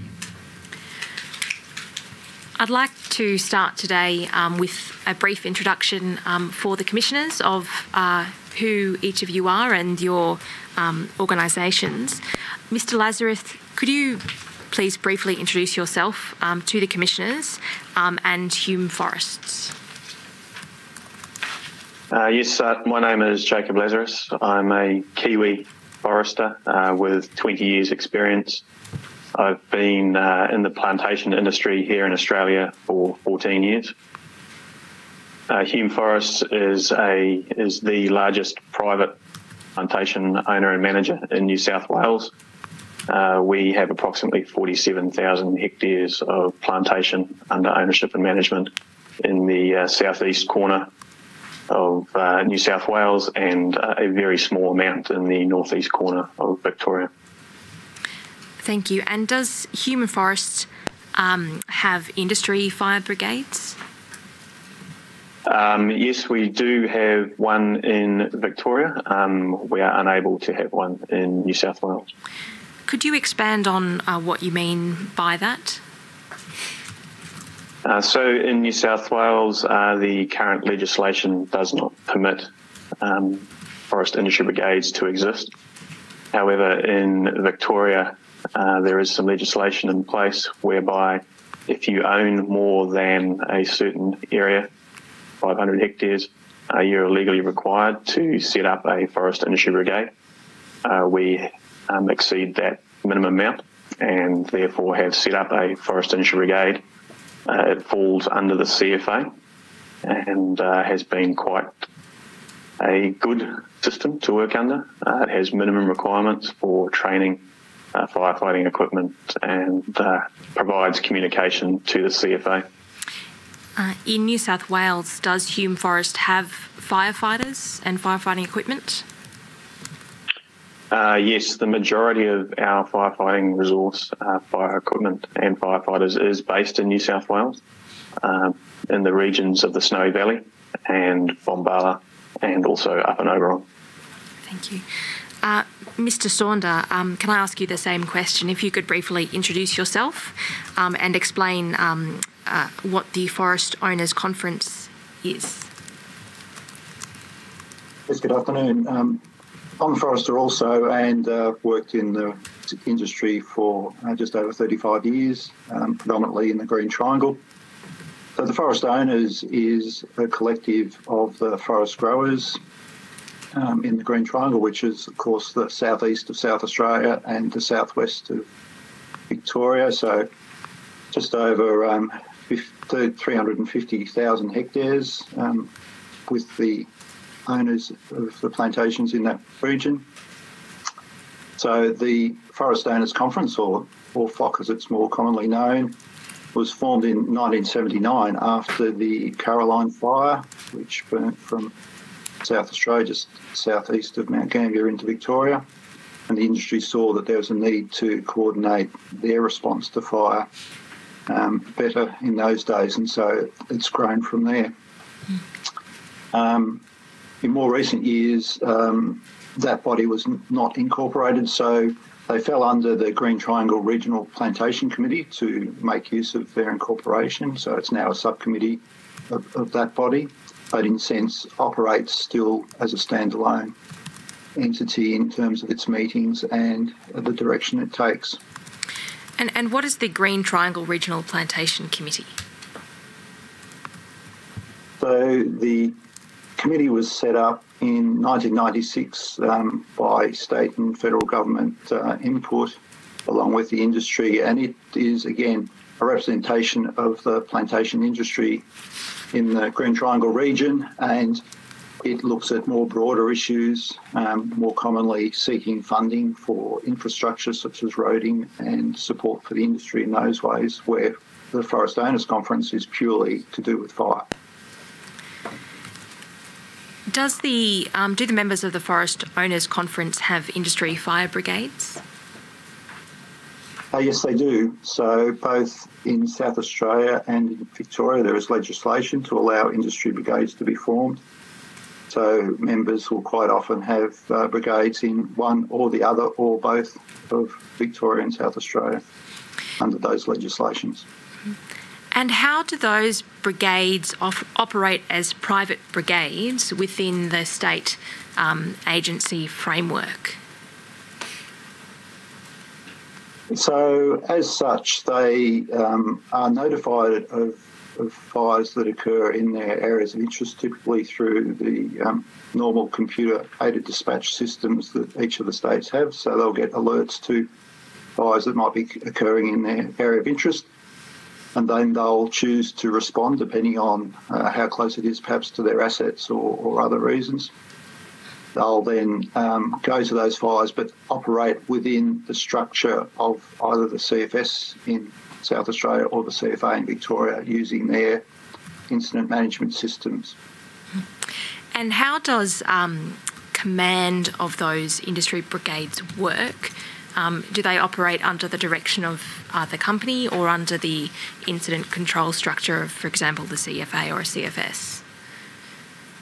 Uh, so at all times they operate under the incident control structure, bearing in mind that, of course, being a, a formed brigade, they have, um, you know, a captain of the brigade and lieutenants. So, of course, if they're the first appliance or crew turning out to that brigade and that person's there, they would form um, an, an incident control structure themselves. So that person may, in fact, be the incident controller for the incident until either someone more senior comes along or there's a handover because it's a, perhaps a rural fire rather than a plantation fire. So, depending on the circumstance, there'll be a discussion between the incoming expertise that's held, or the fire may be sectorised to best use the skills of either plantation firefighters and rural firefighters at that time. How are questions of prioritisation determined? Um, for example, if there's a, a fire on a plantation as well as in rural land, um, who decides which fire that industry brigade will go to? In most cases, that will be done by the incident controller, but bearing in mind that uh, the industry brigades are obviously employed to protect their assets. So um, the discussion is usually held that if there is assets under threat, that um, the preference, of course, would be for the industry brigades to attend um, those plantation fires to uh, make sure that um, damage and losses are reduced to a minimum. In your experience, has there been any tension between the, that obligation to protect the private assets um, and the public role as part of the CFA or CFS?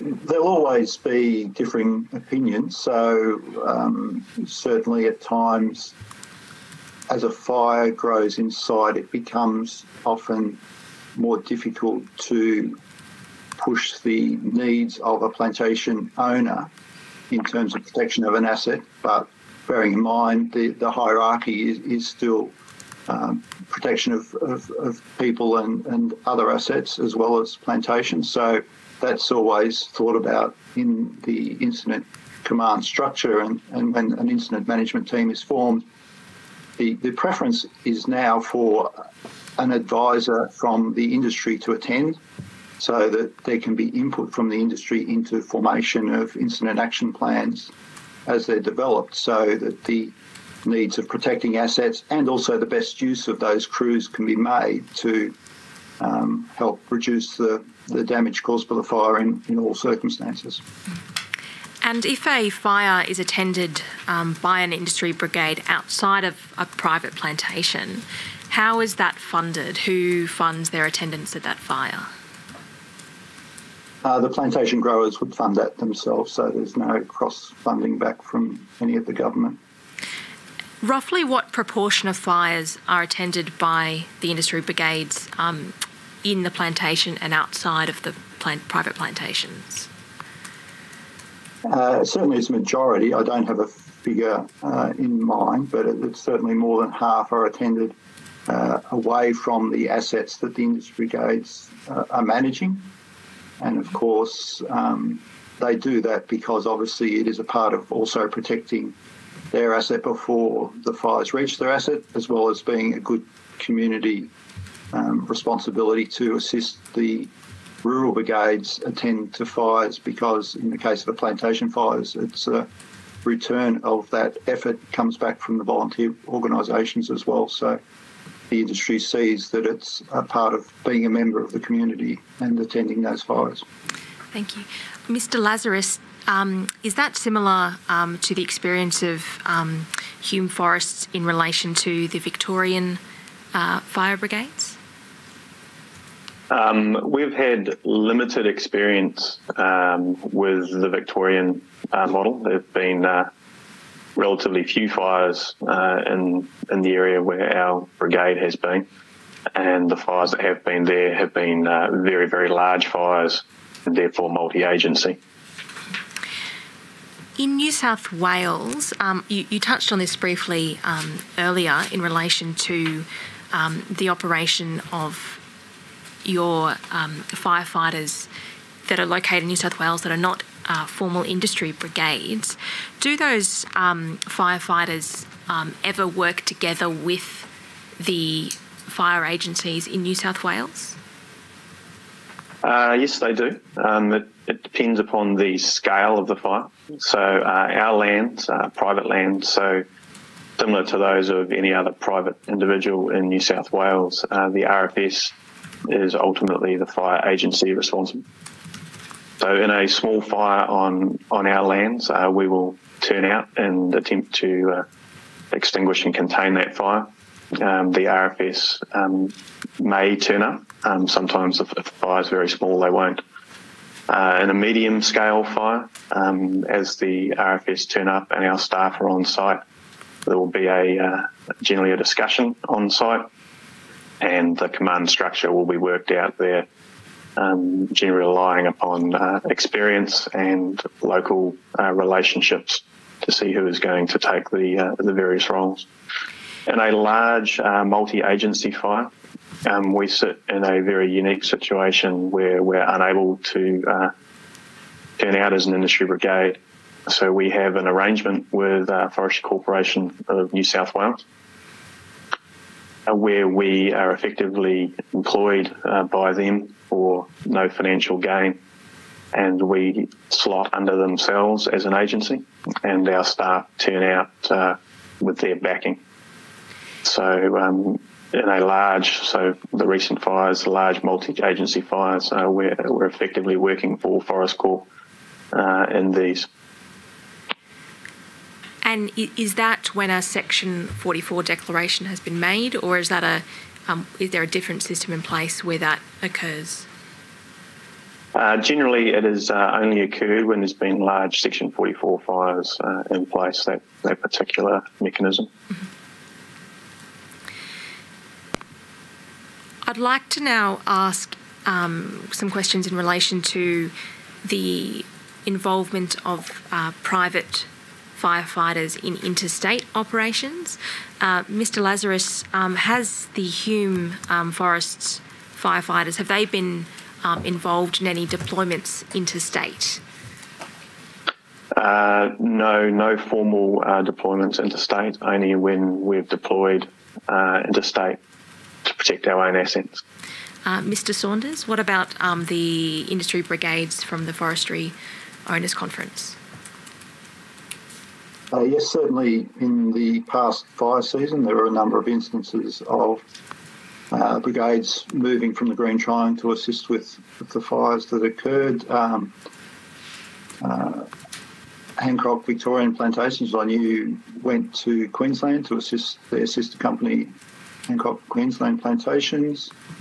Uh, 141 Plantations went to assist Forest New South Wales and also um, PF Olsen crews have responsibility for some of the plantation on Kangaroo Island, but the crews moved from the Green Triangle region, I believe, to assist with the Kangaroo Island fires as well. Were they um, were those uh, brigades deployed um, in any circumstances to um, national parks or uh, land that was not um, plantation land? Uh, I would have expected during those deployments that they would have been both within plantations and also on Crown land. So um, typically you get involved in both because of the close proximity usually of plantations to Crown land and, and national parks. So I would have expected they would have been, been involved in both circumstances. And uh, how is that assistance uh, requested? Um, it can be done in a number of ways. So sometimes it is done um, organisation to organisation, and sometimes it is all, the, the assistance is also offered, um, especially if the fire risk is, is low in, in the local region and there's no need for crews. It quite often is is offered because it is also a um, good form of training for staff to take on firefighting because you never know when your season's going to be a good season or a bad season, and, and um, mm-hmm. regular training is a good thing in this respect and uh, good learnings for crews. And when there is an interstate uh, deployment, how is that funded? It could be by a number of arrangements, and it would depend on each circumstance. So um, it could be self-funded by the organisation to get that experience, or it could be a, a formal um, funding arrangement between the two organisations at that time. Uh, Mr. Lazarus, um, I apologise if I if you did already cover this before, but I just wanted to double check. Um, when the firefighters from Hume Forest are fighting fires with um, New South Wales Forestry Corporation, how is that funded? Uh, we self fund. Thank you. So we're, we are not we're not paid by Forest Corp. Mm-hmm. Um, and does the absence of the formal um, industry brigade structure um, cause um, cause any difficulties um, from Hume Forest perspective? Yeah, so uh, one of the difficulties is uh, communication.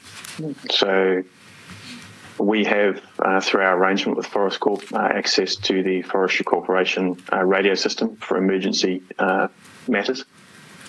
What we don't have access to in New South Wales is the RFS radio system. So when we are on the fire ground here in, in New South Wales, uh, communication uh, is really with the RFS relied upon uh, using the UHF radio system. This has some limitations with regards to topography. So hills, gullies, those sorts of things can can limit the range and therefore the effectiveness of uh, on ground communication. Uh, with our Victorian uh, Forest Industry Brigade, we have access to the CFA radio network, uh, so we are able to communicate with the CFA uh, on the ground. Um, and do you have any um, difficulties of communication um, with um, other agencies besides the CFA? Uh, yes, so we are uh, unable to communicate with uh, a number of agencies. Um, they all run uh, separate separate radios. Uh, the uh, recent fire season saw one of our vehicles with five different radio systems in it. Um, a DELWP one, an RFS, a CFA, a Forest Corp, and a UHF mm. handpiece, all in one vehicle. And does the presence of that many radios cause difficulties besides possible cramped spaces? Yes, um, obviously, uh, the opportunity to incorrectly pick up the wrong handpiece uh, and transmit uh, the message or a message to the wrong group uh, could occur. Um, things can get very busy at a fire ground, and uh, you know, it would be unfortunate for a, an important message to not be relayed to the right people by uh, by grabbing the wrong uh, handpiece. Thank you, uh, Mr. Saunder. Um, has uh, members of the Forest um, Owners Conference experienced sim- similar difficulties with communication? Uh, yes, indeed. So, being um, if a brigade was uh, registered in both states, um, it's not unusual to have um, five to seven radios in a vehicle, so similar circumstances that uh, in the heat of the moment there is certainly a possibility to either make use of the wrong radio or um, confuse messages from where they're coming. So it becomes um, yeah, certainly a risk. And when you have aerial operations as well, there might be a, a, another source of radio that you have to both monitor and um, make use of as well. Um, could you expand on that point a little bit further in relation to the aerial operations and communication there? So the aircraft usually operate on a standalone channel within uh, the fireground radio network. So in those cases, using typically a VHF band radio, you would need to have two radios in a vehicle to communicate if you were the incident controller, for instance. One with your fire ground sector commanders or crews, and one with the aircraft to determine where drops were required. And so, just in that instance, without complicating the, um, you know, back to your um, hierarchy, um, there's that confusion of using the same sets of radios for communication, and you would need to have at least two radios running at all times in that circumstance. In relation to um, the aerial assets at at the border, um, how does um, sorry take one step back? Do the uh, do the members of the owners conference um, have any aerial assets themselves? Uh, there's one member that operates a helicopter as an observation platform on uh, the bad days, um, but beyond that, there is no firebombing or that type of capacity within the group currently. Okay, thank you. Um, you mentioned before that uh, a brigade may be registered both with the um, CFA and the CFS. What are the requirements in terms of uh, training and qualifications to be able to achieve that? So you need to meet the requirements in both states. So typically, um, for plantation firefighters, the aim is to have a plantation firefighter um, certification. So that uh, requires having basic firefighter as well as the plantation firefighter. And so, therefore, currently there's uh, courses run in both states. Um, unfortunately, there are some subtle differences between the two, so it usually requires either to do the courses in both states, which is a fair impost on the industry, and also uh, from time to time do bridging courses if you've done it in one state and need to move to another or, or register with another. Um, the process of also exchanging training certificates that are held in one state to the other is often quite, um, it's not seamless, so it becomes more difficult. So the industry would certainly like to see a national standard for base, both basic and plantation firefighter, and that would also assist with the um, interstate deployments. Um, when when staff are sent, you could also quickly provide their certification to another state, which hopefully would be readily recognised and understood in that state. Thank you. Mr Lazarus, um, is that similar to your um, experience in relation to training and qualifications? Uh, yes, very similar. We have uh, obviously our CFA uh, training to meet uh, minimum requirements there. Uh, however, the uh, to achieve the same qualifications, so a basic firefighter, the units required in New South Wales to meet an RFS a firefighter, for example, are different. so we've elected to be trained in both. So we hold a, a Victorian and a New South Wales basic firefighter, for example. Thank you. Uh, commissioners, do you have any questions? Um, I actually think we've got a few questions. Uh, we've we've been slowly exploring the issues of interoperability over the well the last few months. But Mr. Lazarus, you guys win. I think uh, with the the level of difficulty that's there. Can I just ask a question? Your firefighters go across the Murray River and they're a member of the CFA, so they fight under a CFA construct. But if there's a fire on the New South Wales side, they they'll jump the river, fight that fire. But if you go outside the plantation, you're coming under a commercial MOU or agreement with the state forestry. Is that right? Uh, effectively, and the thing that puzzles us the most is the fire is the same on both sides of the border. No, we're uh, puzzled so by the same thing, so don't don't feel too puzzled. That's okay. And, and I won't yes, even go. I, I, think you've covered the interoperability uh, challenges that that that poses. Um, Commissioner, Commissioner Bennett, I think, has got a question as well. Yes, I must say, Mr. Lazarus, I also have been quite intrigued by um, by your story, if I may say so. Um, so, just to clarify a couple of things, are your properties on on in in um, uh, Victoria and New South Wales contiguous? Uh, no, they're not. They're not. Okay, but you've got a situation where um, you get information in, in Victoria, where you're a brigade, you get information by that reason from the CFA. In New South Wales, you don't get any particular information from the RFS other than what you can glean from, I suppose, fires near me and the radio that you referred to. But basically, you're not getting any special information in New South Wales. Is that right? Uh, no, it's not. Um, so, uh, through our arrangement with Forest Corp, uh, the uh, very ingrained Forest Corp uh, surveillance method. Uh, they have fire towers up. They are very, very efficient.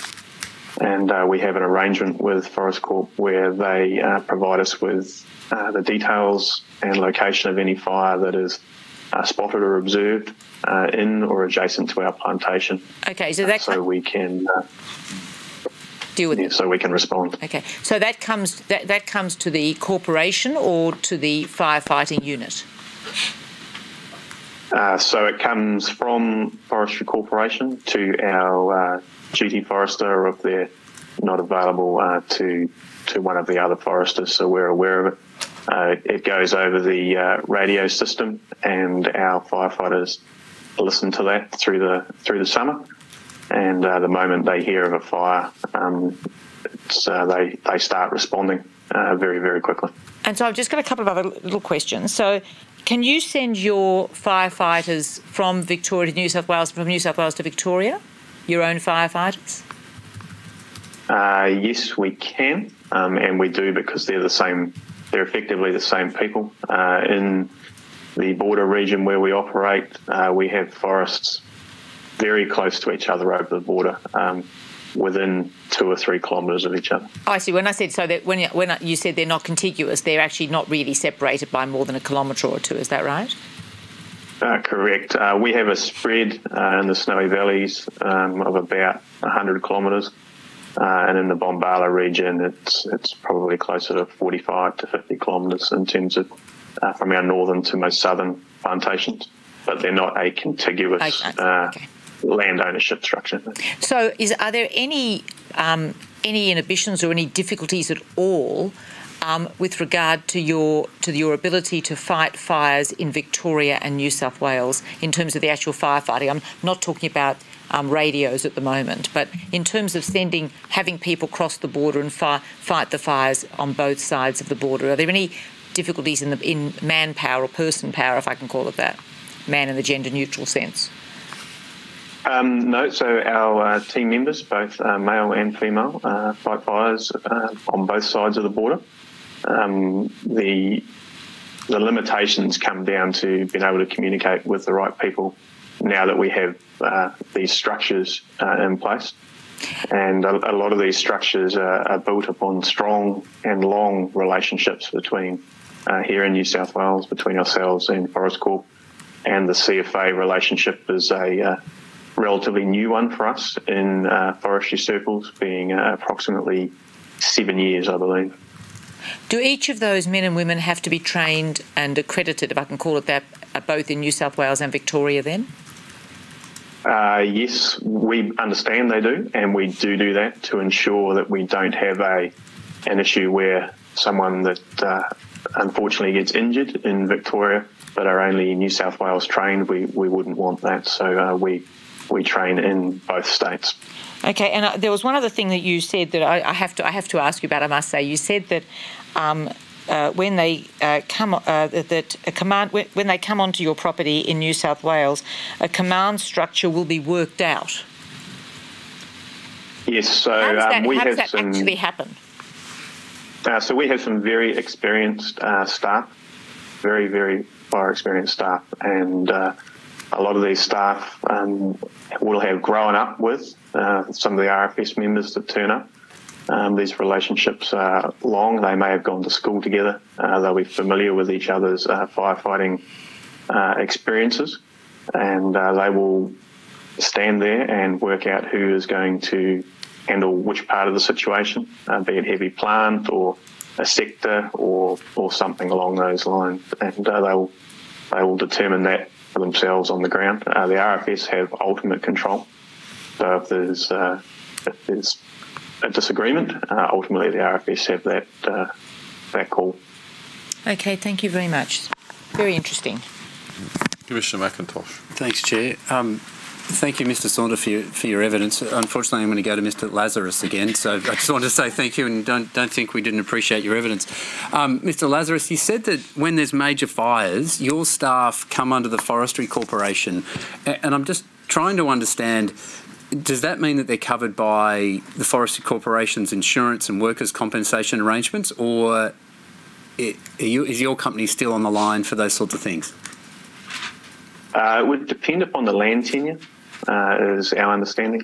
Uh, so on our land, uh, ours covers it, but our understanding is that uh, when we are off our patch and in another area working underneath the uh, that arrangement is covered by Forest Corp. Right, so you effect, they effectively become part of the Forestry Corporation. Yeah, so they're they they're taking the risk. They shouldn't have to. Yep. Uh, but they are taking that risk. Great. Can I just pull up, um, operator? Can I pull up? Not tendered. Oh, isn't it? Um, in your submission, and um, Mr. Lazarus, you uh, you raise issues about um, the desire to be incorporated into the New South Wales RFS structure so that you get similar protections that they have. I assume that you're talking there of uh, Section 128 of the Rural Fires Act, which basically says that uh, a person who's acting in good faith in conducting um, fire activity for the RFS or a similar organisation um, can't be held liable for for any damages. I assume that's the protection you're after. Correct. Correct. Yeah, fantastic. Thank you, Chair. Nothing else for me. No, thank you. And and just to go back to the liability question again, Mr. Lazarus, you, if you're fighting on Forest Corp land, obviously there's your understanding is your firefighters are protected, but if you were to step off that land onto another piece of land to protect, help protect that, you may or may not, they may or may not have protections. Is that right? Um, Forest Corp as an agency uh, have a jurisdiction that goes beyond their boundary. Okay. Um, so uh, it would depend upon exactly where, um, and it would also depend on the size and the scale of the fire. Okay. So it makes it very hard for your firefighters, I'm sure, and as they're reaching the boundaries to, to have to monitor that while they're trying to fight a, a fire, especially the uh, the intensity of the last uh, last season. Yeah. Commissioner Bennett's got one more question. Sorry, I just have one small question. You may have said it, Mr Saundra. I just want to clarify it. On the training issue, because you're South Australia and Victoria, I th- did you say that um, each of your men and women firefighters have to uh, get qualified for both? Just to clarify that. The Yes, in the circumstances where they have uh, an organisation had registered brigades in both states, yes, there would be a need to meet the requirements of both states. If they want, especially if you want to move them between the two states. Yes, all the organisations don't have the luxury of having multiple brigades, so they usually um, use the same people on both sides of the border. Thank you. Thank you very much. Thanks for that. Yeah. Ms Spees, that's the end of our questioning. Is that, are you complete uh, as well? Yes. Yeah.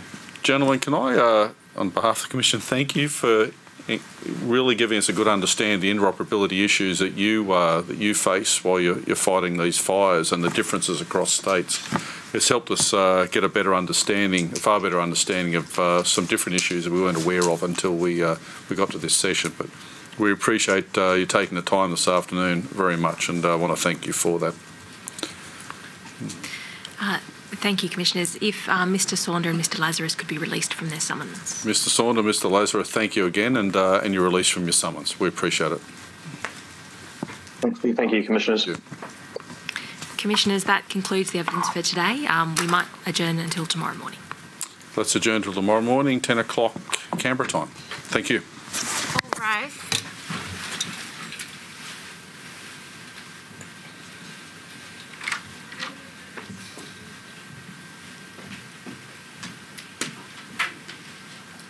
Commission has adjourned until 10am tomorrow.